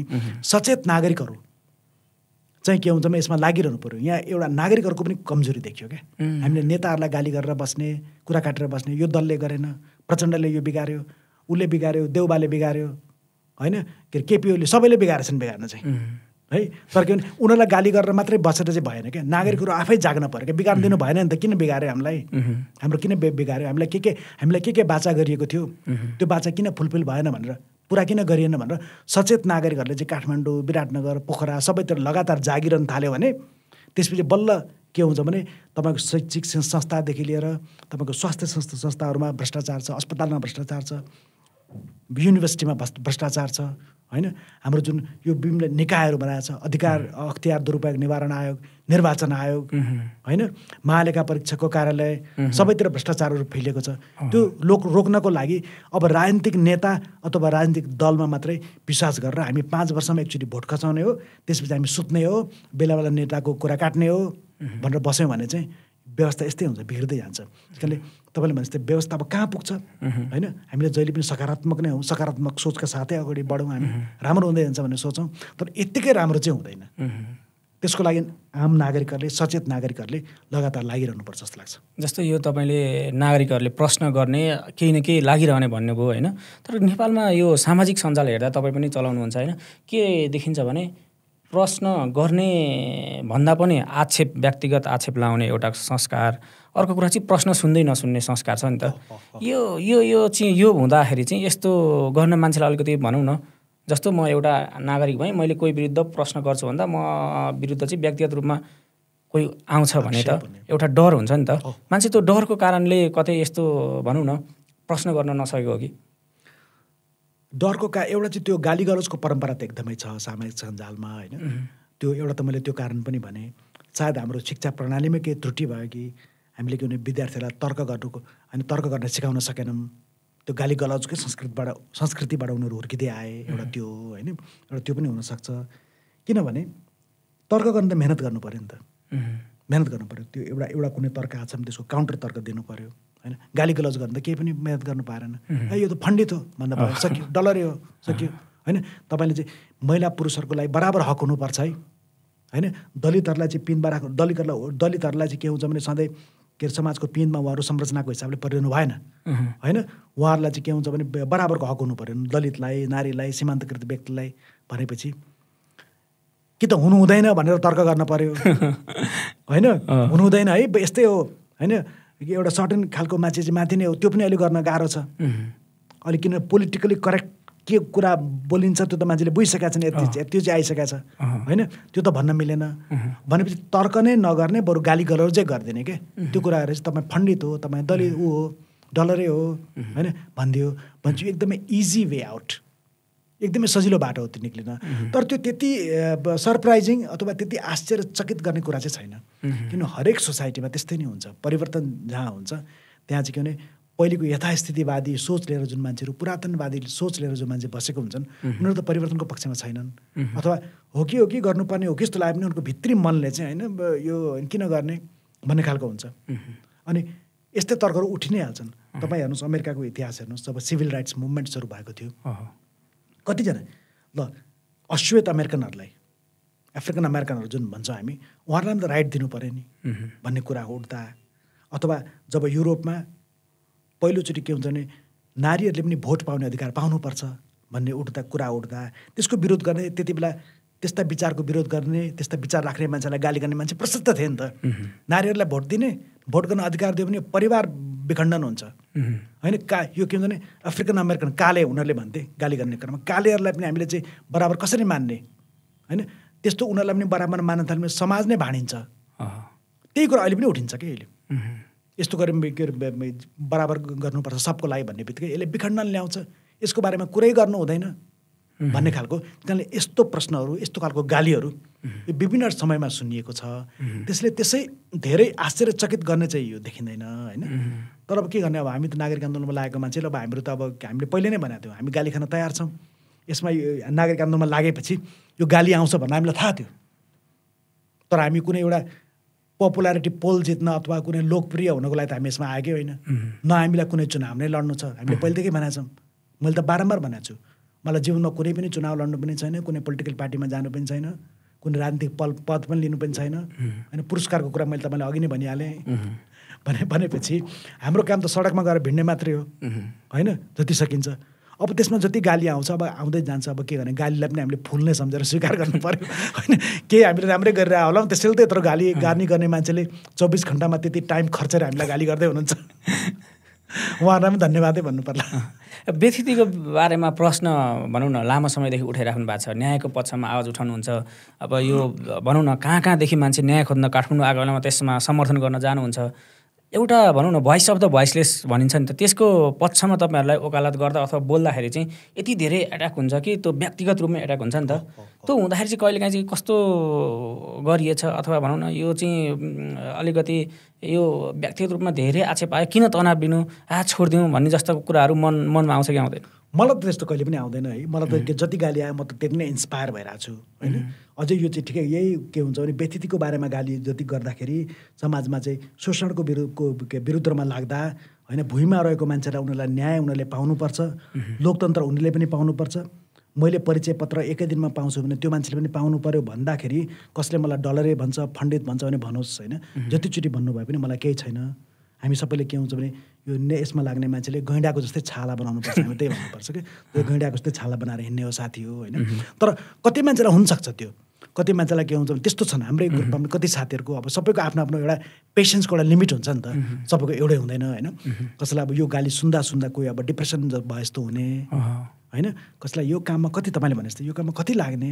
जीवनमा अरू पनि त यो त आउनु भलिन्टियर काम हो एक पैसा आउने काम होइन दुःखै पाउने काम हो। खास गरेर यसबाट यसलाई सिँढी बनाएर भर्याङ बनाएर हामीले कुनै पोलिटिकल पार्टी खोल्ने होइन? त्यस्तो नियत लिएको भयो एउटा कुरा। त्यो पनि छैन भने त। होइन यो गाली खाएर किन बस्ने? भनेर चाहिँ कति साथीहरूलाई अब त्यसले पनि चुप पनि गराउन सक्छ त्यो पनि म बुझ्छु अब। त्यो समस्या त छँदैछ। राजनीति गर्नु छैन कुनै नियुक्ति लिनु छैन भनौँ न। अथवा आफूलाई केही फाइदा लिनु छैन त्यही पनि चाहिँ यो आफ्नो महत्त्वपूर्ण समय चाहिँ खर्च गरेर त्यो सडकमा आउन चाहिँ केले मोटिभेसन गर्छ? अब एउ- एउटा त के हुन्छ भने यो लोकतन्त्र र न्यायप्रतिको होटुटीले नै हो क्या अरू आउने साथीहरूलाई पनि जो आउनु हामीसँग जोडिरहनु अहिले नयाँ नयाँ साथीहरू जोडिरहन चाहेको चाहेको हुन्छ। मैले उहाँलाई त्यही नै भन्ने गरेँ सधैँ। होइन? यसबाट हेर्नुहोस् यो हाम्रो कुनै न यो एनजिओ पनि होइन। यो कुनै पोलिटिकल पार्टी पनि होइन। यसबाट तपाईँले आएर तपाईँलाई एक पैसा पनि आउँदैन। होइन? अब पोलिटिकल यसमा आएर इन्भल्भ भएर केही साथीहरू पोलिटिक्समा जानु भएको छ होइन? त्यो त्यसमा हाम्रो कुनै के अरे ऊ पनि छैन। हाम्रो कुनै कम्प्लेन पनि छैन। यसबाट यहाँबाट आएर जानुभयो। होइन? जस्तो सन्तोष परियार नागरिक आन्दोलन हुनु त्यहाँबाट अहिले राष्ट्रिय स्वतन्त्र पार्टीमा जानु भएको छ हामीलाई त्यस्तो किन गर्नुभयो? त्यस्तो मलाई लाग्दैन। उहाँले आएर नागरिक आन्दोलनको एउटा चेतना बोकेर उहाँ आफ्नो पार्टीमा जानुहुन्छ भने त अझै राम्रो पोलिटिसियन हुनुहुन्छ नि उहाँ। त्यो पनि ठिक छ। होइन? अब त्यस कारणले गर्दाखेरि अब यसमा लागिरहने हो हेर्नुहोस् यसमा अरू त केसको के भनौँ र म होइन? अब लगातार अब सामाजिक न्याय लोकतन्त्र होइन? र के हुन्छ भने यसको लागि चाहिँ के हुन्छ भने हामीले लगातार भिडिरहने हो। होइन? र किन पनि भिडिरहनु पर्यो भने यदि हाम्रो देशमा व्यवस्थाहरू सबै ठिक भएको भए हाम्रो सबै यो यो आयोगहरूले इन्डिपेन्डेन्टली काम गर्ने भएको भए अख्तियारले भ्रष्टाचार ट्याक्कै समात्ने। निर्वाचन आयोगले चाहिँ के हुन्छ भने चुनावमा भएको के क- अपारदर्शी जुन खर्च छ त्यसलाई च्यात्तै त्यो समात्ने व्यवस्था गर्ने। पोलिटिकल पार्टीको आर्थिक व्यवस्था सबै पारदर्शी हुने। त्यस्तो सिचुएसन आएको भए त्यस्तो समाज आइडियल समाज भएको भए हामीले नागरिक आन्दोलन गर्नै पर्दैन थियो नि। हामी घरमा बसेर अरू कुनै कामहरू गर्थ्यौँ। म अब चरा नै बढी हेर्थेँ होला अथवा घुम्न जान्थेँ होला होइन अरू केही कामहरू लेख्ने नै होला होइन। अब त्यो व्यवस्था नभएको हुनाले हामीले यसमा लागिरहनु पर्ने हो। त्यसैले साथीहरूलाई त्यही भन्छु कि अब यसमा चाहिँ सामाजिक न्याय लोकतन्त्रप्रतिको एउटा सचेत नागरिकको जुन छ हुटुटी लिएर जुन आउनुहुन्छ उहाँहरू आइरहनुहुन्छ जुन अहिले तपाईँले जुन चरा हेर्ने कुरा गर्नुभयो होइन योभन्दा अगाडि तपाईँलाई केही नाटकमा हामीले अभिनय गर्दै गरेको पनि देखेका थियौँ। अब चाहिँ त्यो त्यो त्यतातिर चाहिँ अब तपाईँ लाग्नुहुन्न अभिनय गर्ने? समय नै भएन अब त्यो समय नै भएन। नाटक मैले नाटक चाहिँ अब हेर्ने हो आरामसँग बसेर होइन। मैले खेल्ने चाहिँ मेरो अन्तिम जीवनको नाटकहरू मैले खेलिसकेको छु। अब के त्यो नाटक रङ्गमञ्चमा चाहिँ अब अभिनय गर्न चाहिँ मेरो अब कुनै त्यस्तो इच्छा अथवा समय पनि छैन होइन। तर नाटक हेर्न मलाई अहिले पनि रमाइलो लाग्छ होइन। नाटक गरेँ अब हामीले सञ्जीव उप्रेतीलाई कुनै पनि नाटकमा रङ्गमञ्चमा देख्न मलाई एज एन एक्टर तपाईँले मलाई देख्नुहुन्न मलाई त्यहाँ आउनुभयो भने दर्शकको रूपमा देख्नुहुन्छ म गइरहेको हुन्छु नाटक हेर्नको लागि। अलिकति अघि हामी पठन संस्कृतिको कुरा गर्दै थियौँ अलिकति नागरिक आन्दोलनतिर कुरा मरियो अलिकति हामीहरू पठन संस्कृतिको कुरा गर्दा हजुर। हाम्रो नेपालको पठन संस्कृति चाहिँ कस्तो पाउनुहुन्छ तपाईँले? पठन संस्कृतिको चाहिँ अब यो किताब पढ्नेहरूको सङ्ख्या मैले हेर्दाखेरि अलिक घट्दै गएको जस्तो लागिरहेछ मलाई होइन। यो चाहिँ प्रकाशकहरूसँग कुरा हेर्दा पनि थाहा हुन्छ होइन। किताबको बिक्री घटिरहेछ। होइन? त्यो चाहिँ अब एज अ होल चाहिँ त्यो ग्लोबल फेनोमेना नै हो जस्तो लाग्छ मलाई चाहिँ। हुन त बाहिर के भनिन्छ भने बाहिर चाहिँ नेपालमा चाहिँ किताबहरूको सङ्ख्या घट्यो। बाहिर चाहिँ के हुन्छ भने किताब पढ्ने मान्छे छँदैछन् भनेर भन्छन्। होइन? छँदैछन् किताबहरूको बिक्री बढेकै छ भनेर भनिन्छ। तर एउटा हामी एउटा चाहिँ सिफ्ट टेक्नोलोजी प्राविधिक एउटा सिफ्ट के भन्छ? एउटा छलाङ छलाङ। लगाउने हामी क्रममा छौँ जस्तो लागिरहेछ होइन। अर्को एकदमै नयाँ नयाँ प्रविधिहरू आइरहेछन्। मान्छेको समय नै कम भयो क्या एटेन्सन स्प्यान मान्छेको कम छ। अहिले त्यो त टिकटक जेनेरेसन हो नि। जे पनि छोटो इन्स्ट्यान्ट चाहियो। खानेकुरा पनि इन्स्ट्यान्ट कफी पनि इन्स्ट्यान्ट कफी होइन? त्यसपछि त्यो उसमा पनि त्यो त्यो लामो समयसँग लामो लामो किताब पढ्ने मान्छे समय पनि आखिर चौबिस घन्टा त टेक्नोलोजीहरू विभिन्न नयाँ नयाँ आए तपाईँको फेसबुकदेखि लिएर ट्विटरदेखि लिएर इन्स्टाग्रामदेखि लिएर टिकटकदेखि लिएर होइन? नयाँ नयाँहरू आए नेटफ्लिक्स आयो धेरै कुराहरू आए होइन? समय त चौबिस घन्टाभन्दा बढेन। उस्तै रहिरह। त्यही कुरामा सबै कुरा भ्याउनु पर्ने भनेपछि मान्छेले किताब पढ्ने पनि समय पनि त घट्यो नि उसको। अनि यो ग्लोबल फेनोमेना जस्तो लागिरहेछ। थाहा छैन है मेरो एउटा मेरो एउटा आशंका चाहिँ अब अहिले वेस्टमा त्यो के अरे जेनेरेसन यो चाहिँ के हुन्छ भने त्यो अहिले किताबको सङ्ख्या बढी भए तापनि बिस्तारै किताब पढ्ने नै सङ्ख्या भन्दा पनि अहिले हेर्ने खालको कथा हुन्छ नि हेर्ने कथा हुन्छ नि हामी। भिजुअल मिडियमतिर हामी सिफ्ट गरिरहेछौँ जस्तो लागिरहेछ। अब अहिले पहिले चाहिँ भन्थ्यो मिलेनियम भनिन्थ्यो त्यसपछि जेन जेन जी आयो। अब टु थाउजन्ड टुवेल्भभन्दा पछि जन्मेको जेनेरेसनलाई जेन के अरे जेन अल्फा भन्दो रहेछ कि। जेनेरेसन अल्फा त्यसो नयाँ नयाँ आउला जेनेरेसनहरू त्यो जेन जेनेरेसन अल्फा चाहिँ अब जब चाहिँ बिस वर्ष तिस वर्षको हुन्छ। त्यसपछि चाहिँ सायद उनले त्यो भिजुअल मिडियममै उनीहरू बढी उनीहरूलाई सहज हुन्छ जस्तो लागिरहेछ मलाई चाहिँ। त्यो चाहिँ एउटा लस चाहिँ हो मेरो लागि चाहिँ खास गरेर म आफ्नो पर्सपेक्टिभले हेर्दाखेरि। हामीलाई त जुन जेनेरेसनमा म हुर्केँ मलाई त किताबै पढ्न मन लाग्छ होइन? पानै पल्टाएर हेर्न मन लाग्छ मलाई चाहिँ। होइन? र त्यसले चाहिँ मलाई चाहिँ किताबै पढ्दाखेरि चाहिँ त्यसले चाहिँ एउटा इमेजिनेसन मान्छेको कल्पनालाई पनि त्यसले चाहिँ ऊ लागि बाटो खोलिदिन्छ। जस्तो कि किताबमा मैले कुनै उपन्यासमा पढेँ मैले ऊ समुद्रमा पुग्यो अथवा ऊ समुद्रमा पुग्यो समुद्र निलो थियो। उपन्यासमा मैले पढेँ होइन। निलो कस्तो रङ थियो? गाढा निलो थियो कि? हरियो हरियो रङको निलो थियो कि? हरियो र निलो मिक्स भएको थियो कि? त्यो चाहिँ हामी पाठकले कल्पना गर्न सक्छौँ क्या। त्यो भिजुअल मिडियममा त समुद्रै देखिहाल्छ अगाडि। होइन जे रङको छ गाढा निलो भए पनि हल्का निलो भए पनि हामीले कल्पनै गर्न परेन होइन। सिधै देखिन्छ। भनेपछि त्यो कल्पनाशीलतालाई त्यसले अलिक कम गर्ने हो कि जस्तो पनि लाग्छ मलाई होइन? तर यसको बारेमा आफै प्रश्न चाहिँ छैन किनभने त्यो जेनेरेसनमा हामी आएको होइनौँ। अब अब आउने जेनेरेसन अब अब नयाँ टेक्नोलोजी झन् कस्तो आउँछ? झन् भर्चुअल रियालिटीको झन् नयाँ नयाँ तपाईँको आइरहेको छ टेक्नोलोजीहरू होइन? त्यो भएपछि अब के हुन्छ त यो पठन संस्कृति के हुन्छ? पठन त एक किसिमको पठन नै हो। तपाईँले उप के हुन्छ भने त्यो फिल्म हेर्दाखेरि पनि त भिजुअल हेर्दा पनि त त्यसको त्यसमा देखिएको बिम्बलाई एक किसिमले इन्टरप्रेट त गर्नु पऱ्यो नि। त्यो इन्टरप्रिटेसन पनि एक किसिमको पठन नै हो। है तर किताबको जुन हामीले पढ्छौँ प्रिन्टेड बुकहरू पढ्ने होइन अथवा शब्दको भर्बल कल्चर भन्छ शब्दहरू पढ्ने त्यो चेन्ज पनि हुनसक्छ। पहिले पनि भएको छ। पहिले मान्छेले चाहिँ जब मान्छे चाहिँ के अरे केबमा बस्थ्यो गुफाहरूमा बस्थ्यो त्यति बेला पनि शब्द थिएन नि त। तर उसले चित्र बनाउँथ्यो क्या। भिजुअल उसले चित्र बनाउँथ्यो। चित्र नै उसको भाषा थियो त्यति बेला। भनेपछि त्यही हामी अर्को त्यो भिजुअल कल्चरमै फेरि फर्क। जुन चाहिँ के वर्ल्डमा थियो मान्छे गुफामा बस्दाखेरि जङ्गली अवस्थामा बस्दाखेरि जुन भाषा थियो चित्रमा चित्रको भाषा होइन? अब त्यसपछि हामी शब्दको भाषामा गयौँ। अब फेरि त्यही चित्रकोवाला भाषातिर जाने त्यता खालको खालको संस्कृति पनि आउन सक्छ कि? होइन? हामीले भविष्यको अनुहार त अहिले पढ्न सक्दैनौँ होइन? तर कता गइरहेको छ थाहा छैन। त्यता पनि गइरहेको पनि हुनसक्छ। जस्तो अहिले तपाईँले जुन कुराहरू गर्नुभयो नि यो अलिकति टेक्नोलोजीको कुराहरू अथवा भर्चुअल रियालिटीको कुराहरू अब तपाईँ साठी उमेरले साठीको आसपास हुनुहुन्छ होइन? यस्तो कुरामा चाहिँ अपडेट कसरी भइराख्नु भएको छ? अब आजकल त सबै कुरा के हुन्छ भने तपाईँको यो नेटमै पाइन्छ आजकल त होइन? केही गाह्रो छैन मान्छेले इन्ट्रेस्ट रुचि मात्रै लाग्नु पऱ्यो होइन? तपाईँलाई यस्तो कुराहरूमा अलिक बढी रुचि छ? मलाई रुचि लाग्छ कुन कुन भविष्यतिर हामी गइरहेछौँ? होइन? किनभने जुन भविष्यतिर हामी भविष्यतिर गइरहेको छैनौँ कि भविष्य हामीतिर एकदम दौडेर एकदम फास्ट स्पिडमा आएको आएछ क्या। त्यो भनेको? अनि भवि भविष्य चाहिँ भविष्य हामीतिर एकदम आउने स्पिड झन् झन् बढ्दै गइरहेछ भन्नुको तात्पर्य पहिले तपाईँको एक सय वर्षमा जति टेक्नोलोजी चेन्ज हुन्थ्यो दस वर्षमा हुन लाग्यो। अब दस वर्षमा हुने टेक्नोलोजीको चेन्ज एकै वर्षमा हुने त्यति फास्ट तपाईँको नयाँ टेक्नोलोजीहरू जस्तो थ्री डी प्रिन्टिङ भन्यो भर्चुअल रियालिटीको कुराहरू भयो होइन? फुड आयो हेबिटमा हाम्रो भएको चेन्जहरू होइन? अब तपाईँको अहिले कतिवटा यस्तो रेस्टुरेन्टहरू खोलिसक्यो जुन चाहिँ अब टोटल्ली तपाईँको चाहिँ त्यहाँ मानव त्यहाँ वेटरहरू केही पनि चाहिँदैन टोटली अटोमेटेड छ। होइन? अब त्यो भयो भने अब त्यहाँको श्रमको स्थिति के होला मान्छेको बेरोजगारी बढ्ला कि के होला जे जे नयाँ टेक्नोलोजीले आउँछ त्यसले त हाम्रो जीवनलाई विभिन्न रूपमा प्रभाव पार्छ नि त। होइन?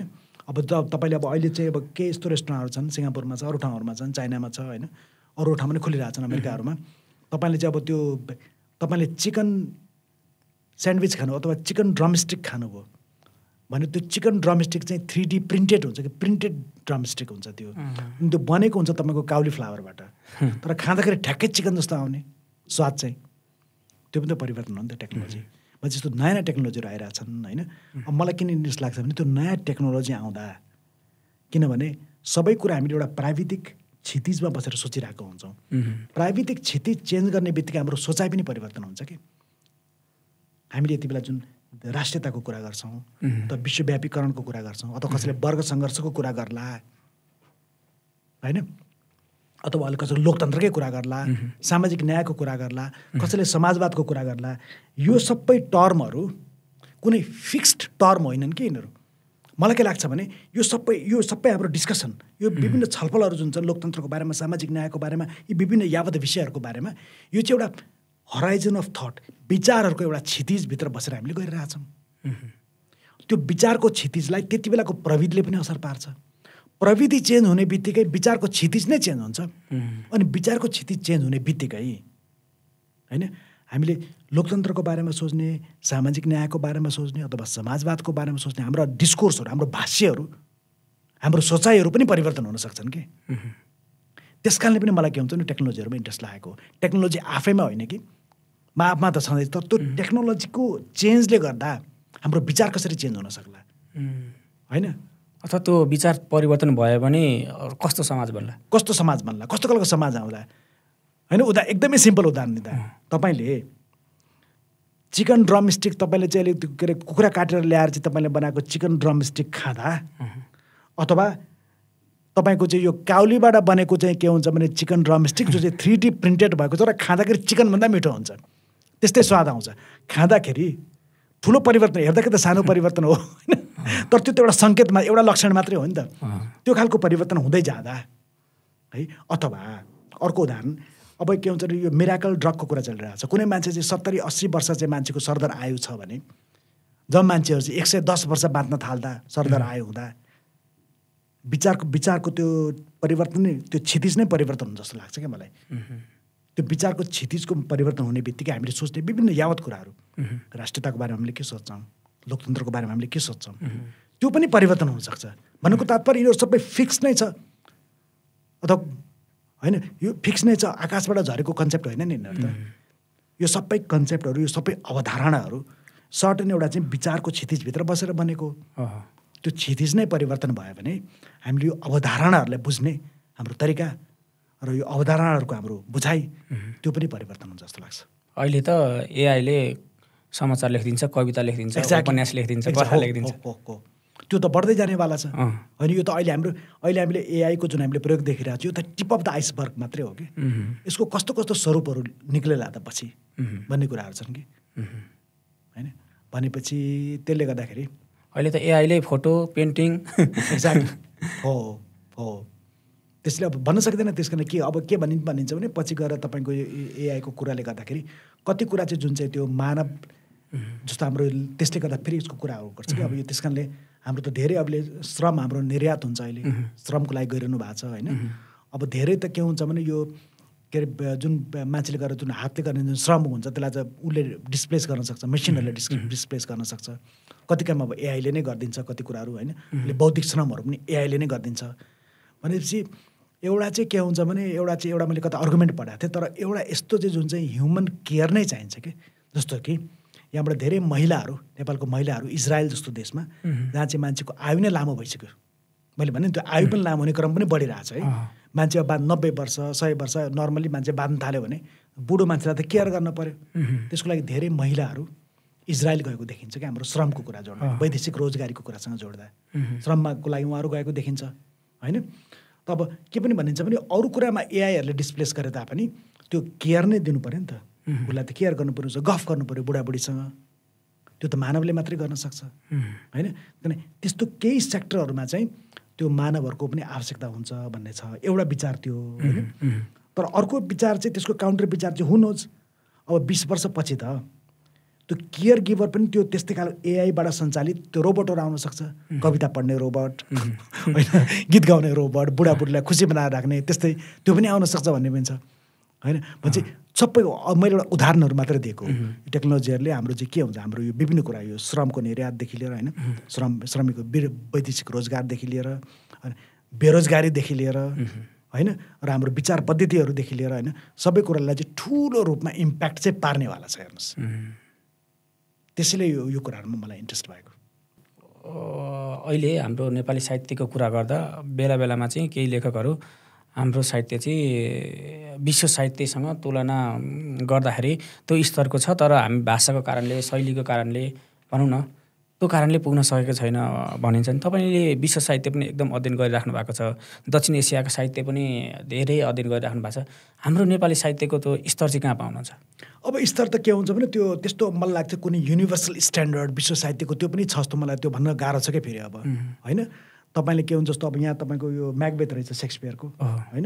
अब सेक्सपियरलाई एकदमै त्यो जोडिएको छ हामीले विश्व साहित्य एकदमै को उत्कृष्ट रचना भनेर। रचनाहरू पनि राम्रो छ तर त्यो जजमेन्ट कसले गर्यो? कसले बनाउने त्यसलाई चाहिँ विश्व साहित्यको उत्कृष्ट रचना भनेर। होइन? अब त्यो सेक्सपियर नै कसरी सेक्सपियर भयो भने त्यति बेला चाहिँ त्यो ब्रिट ब्रिटेनको जुन औपनिवेशिक राष्ट्रवाद थियो त्यो राष्ट्रवादको प्रोजेक्टमा ऊ ठ्याक्कै फिट भएको छ। त्यसले पनि उसलाई उठाएको छ। अर्को कुरा चाहिँ त्यो कुनै लेखकलाई यसको उत्कृष्ट भनेर कसरी उठाउँछ? विभिन्न कुराहरू कसले उसको बारेमा रिभ्यू लेख्छ? उसले कुन कुन पुरस्कारहरू पाउँछ? अघि पुरस्कारको कुरा गरेँ नि हामीले। होइन? त्यो पुरस्कारले गर्दा उसको किताब कति बिक्री हुन्छ? फेरि त्यो किन्ने बेच्ने सर्किटमा आउँछ बजारमा आउँछ। त्यो सबै कुराले गर्दा पनि लेखक उठिरहेको हुन्छ त्यसले पनि कुनै लेखकलाई उत्कृष्ट बनाएर हुन्छ भनेपछि युनिभर्सल त्यस्तो के हुन्छ भने उत्कृष्ट नै यो किताब चाहिँ उत्कृष्ट छ विश्व साहित्य उत्कृष्ट छ। हामी कहाँ छौँ? त्यो अब जज गर्न गाह्रो हुन्छ मलाई चाहिँ होइन? तर के भने हरेक समाजको चाहिँ आफ्नो आफ्नो किसिमको साहित्य उत्पादन गर्छ। क्या उसले होइन? नेपालको परिवेश छुट्टै छ यहाँको सामाजिक जटिलता छुट्टै छ यहाँको सांस्कृतिक विविधता छुट्टै छ। त्यसको आधारमा नेपाली लेखकहरूले लेख्ने हुन्।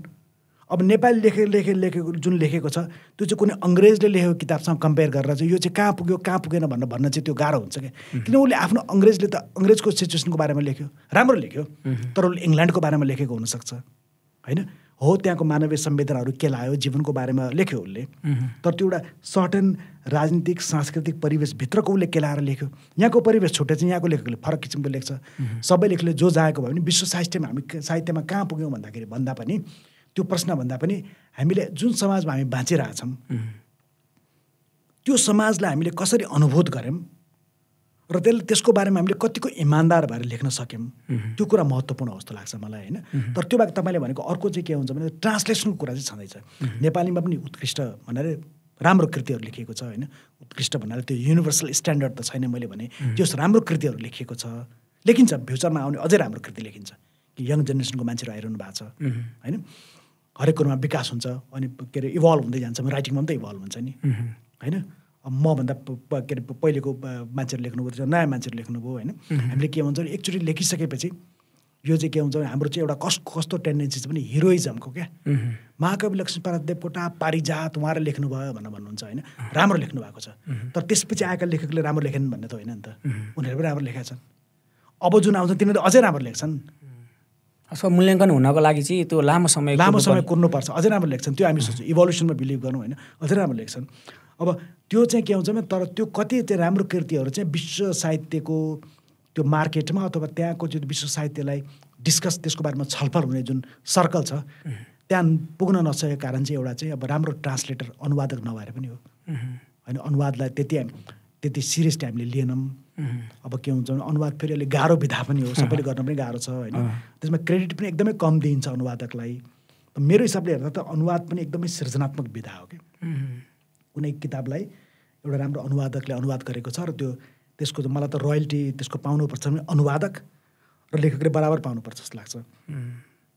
पुनर्सिर्जना नै हो नि पुनर्सिर्जना हो। त्यसमा त्यो अर्को दुईवटा भाषाको क्षितिजहरूले छाम्नु पऱ्यो दुईवटा भाषाको मर्महरू बुझ्नु पऱ्यो त्यति सहिलो काम होइन यो। अब त्यसमा चाहिँ यो हाम्रो प्रज्ञा प्रतिष्ठान जसले काम गर्नुपर्ने उहाँहरू पनि उदासीन नै देखिनुहुन्छ। होइन? तर अनुवादकहरूको राम्रो एउटा टिम भए चाहिँ राम्रो चाहिँ हुन्थ्यो। अब हामी अन्तिम अन्तिम चरणमा छ। जस्तो अब तपाईँको चाहिँ आगामी लेखन योजना अब के के के छ? के के आउँदैछ तपाईँबाट? अहिले भन्ने हो र। मिल्छ भने। होइन त्यस्तो खासै केही छैन। अब म मनमा केही सलबल चाहिँ गरिरहेछ होइन? एउटा चाहिँ यो के हुन्छ भने यो आन्दोलनसँगै जोडिएर यो नागरिक आन्दोलनसँगै जोडिएर यसको मेरो आफ्नै अनुभवहरू र के हुन्छ भने यसँग जोड्यो त्यो त्यो संरचनात्मक लाभांश भन्ने कुराको बारेमा मैले एउटा बोलिरहेको हुनाले त्यस तपाईँले यो संरचनात्मक लाभांश बारेमा बेला बेला बेला बेला बोलिरहेको हुनुहुन्छ।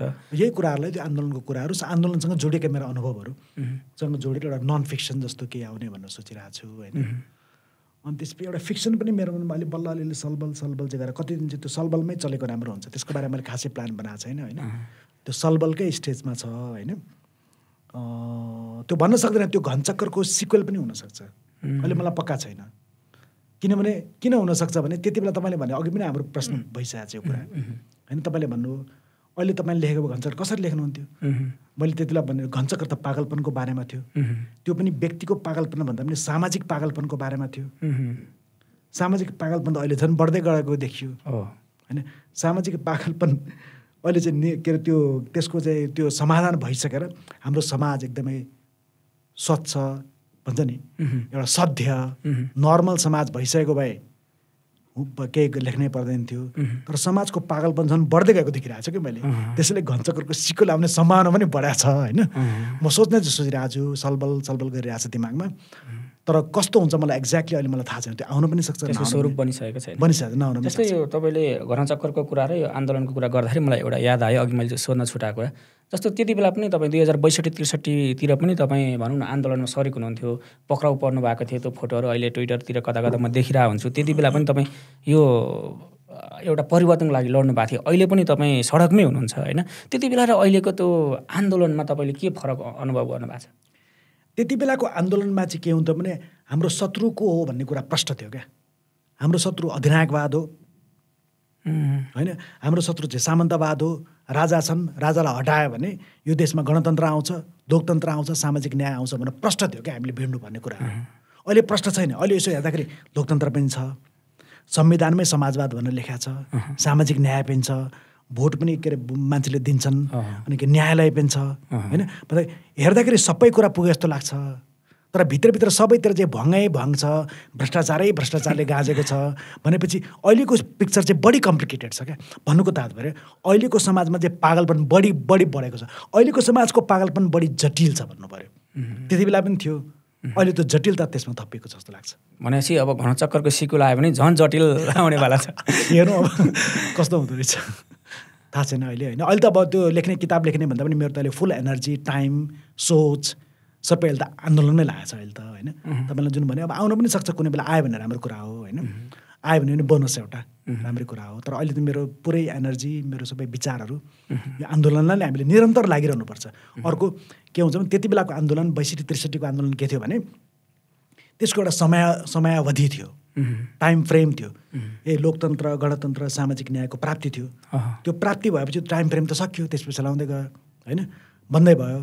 अब अहिलेको चाहिँ हाम्रो जब हामीले यो पल्टको ओली ओलीको बेलामा जुन केपी ओलीको बेलामा जुन संसद विघटन भएको थियो त्यसको वरिपरि फेरि हामी बिउजेको हो योपल्ट योपल्ट चाहिँ हाम्रो के छ भने होइन यो चाहिँ एउटा टाइम फ्रेममा चल्ने आन्दोलन होइन यो। यसको कुनै समयावधि पनि हुँदैन। यो त लगातार निरन्तर चलि नै रहनु पऱ्यो नागरिकहरूले त सचेत भएर लागि नै रहनु पऱ्यो नि। किनभने राजनीतिक दलहरूमा यहाँको जुन हाम्रो इन्स्टिट्युसनहरूमा हामीले बिलिभ गर्न न यसमा चाहिँ हामीले पत्यार नभएपछि नेता नै अब भ्रष्टाचारी छन् कि के हुन् होइन? उसलाई नै जोगाउनु जोगाउनु टिकडम चढिरहेको छ भने कसलाई विश्वास गर्ने? कुनै पनि पोलिटिकल पार्टीमा विश्वास गर्ने सिचुएसन भएन। यसको मतलब सबै पोलिटिकल पार्टी र यसका नेता खराबै छन् मैले त्यो मैले भनेन पार्टीभित्रमा राम्रो मान्छेहरू होलान् तर एज अ होल त्यो पार्टीहरूमा चाहिँ हामीले यसले नै हामीलाई लोकतन्त्र यसले हाम्रो जगेर्ना गर्छ यो पार्टीले। यहाँको यो विभिन्न अख्तियार दुरुपयोग निवारण आयोगदेखि लिएर निर्वाचन आयोगदेखि लिएर विभिन्न संस्थाहरू छन् जसले चाहिँ लोकतन्त्रको जगेर्ना गर्नु जोगाउनु पर्ने हो हस्तक्षेप हुँदाखेरि पनि तिनीहरूले तिनीहरूमा पनि विश्वास गरेर बस्ने कुरा आएन। त्यस कारणले यो आम नागरिकहरूले निरन्तर जागिरहनुपर्छ निरन्तर भिडिरहनुपर्छ भनेर हामीले सोचिरहेछौँ होइन? त्यो निरन्तरता दिन चाहिँ गाह्रो छ होइन? त्यसले किनभने अब देशका विभिन्न कारण छन् एउटा त हामी कुनै पोलिटिकल पार्टी पनि होइनौँ न हामी एनजिओ हौँ न के हौँ सबै भलिन्टियर भएर लागेका छौँ। त्यसले यसको चुनौतीहरू छँदैछन् होइन? तर त्यही चुनौतीसँगै भिड्ने नैमा टाइम बढी गइरहेछ अहिले। लेखन डेफिनेटली कम भएको छ। हस् सर धन्यवाद। हस् हस् हस्। खुसी लाग्यो।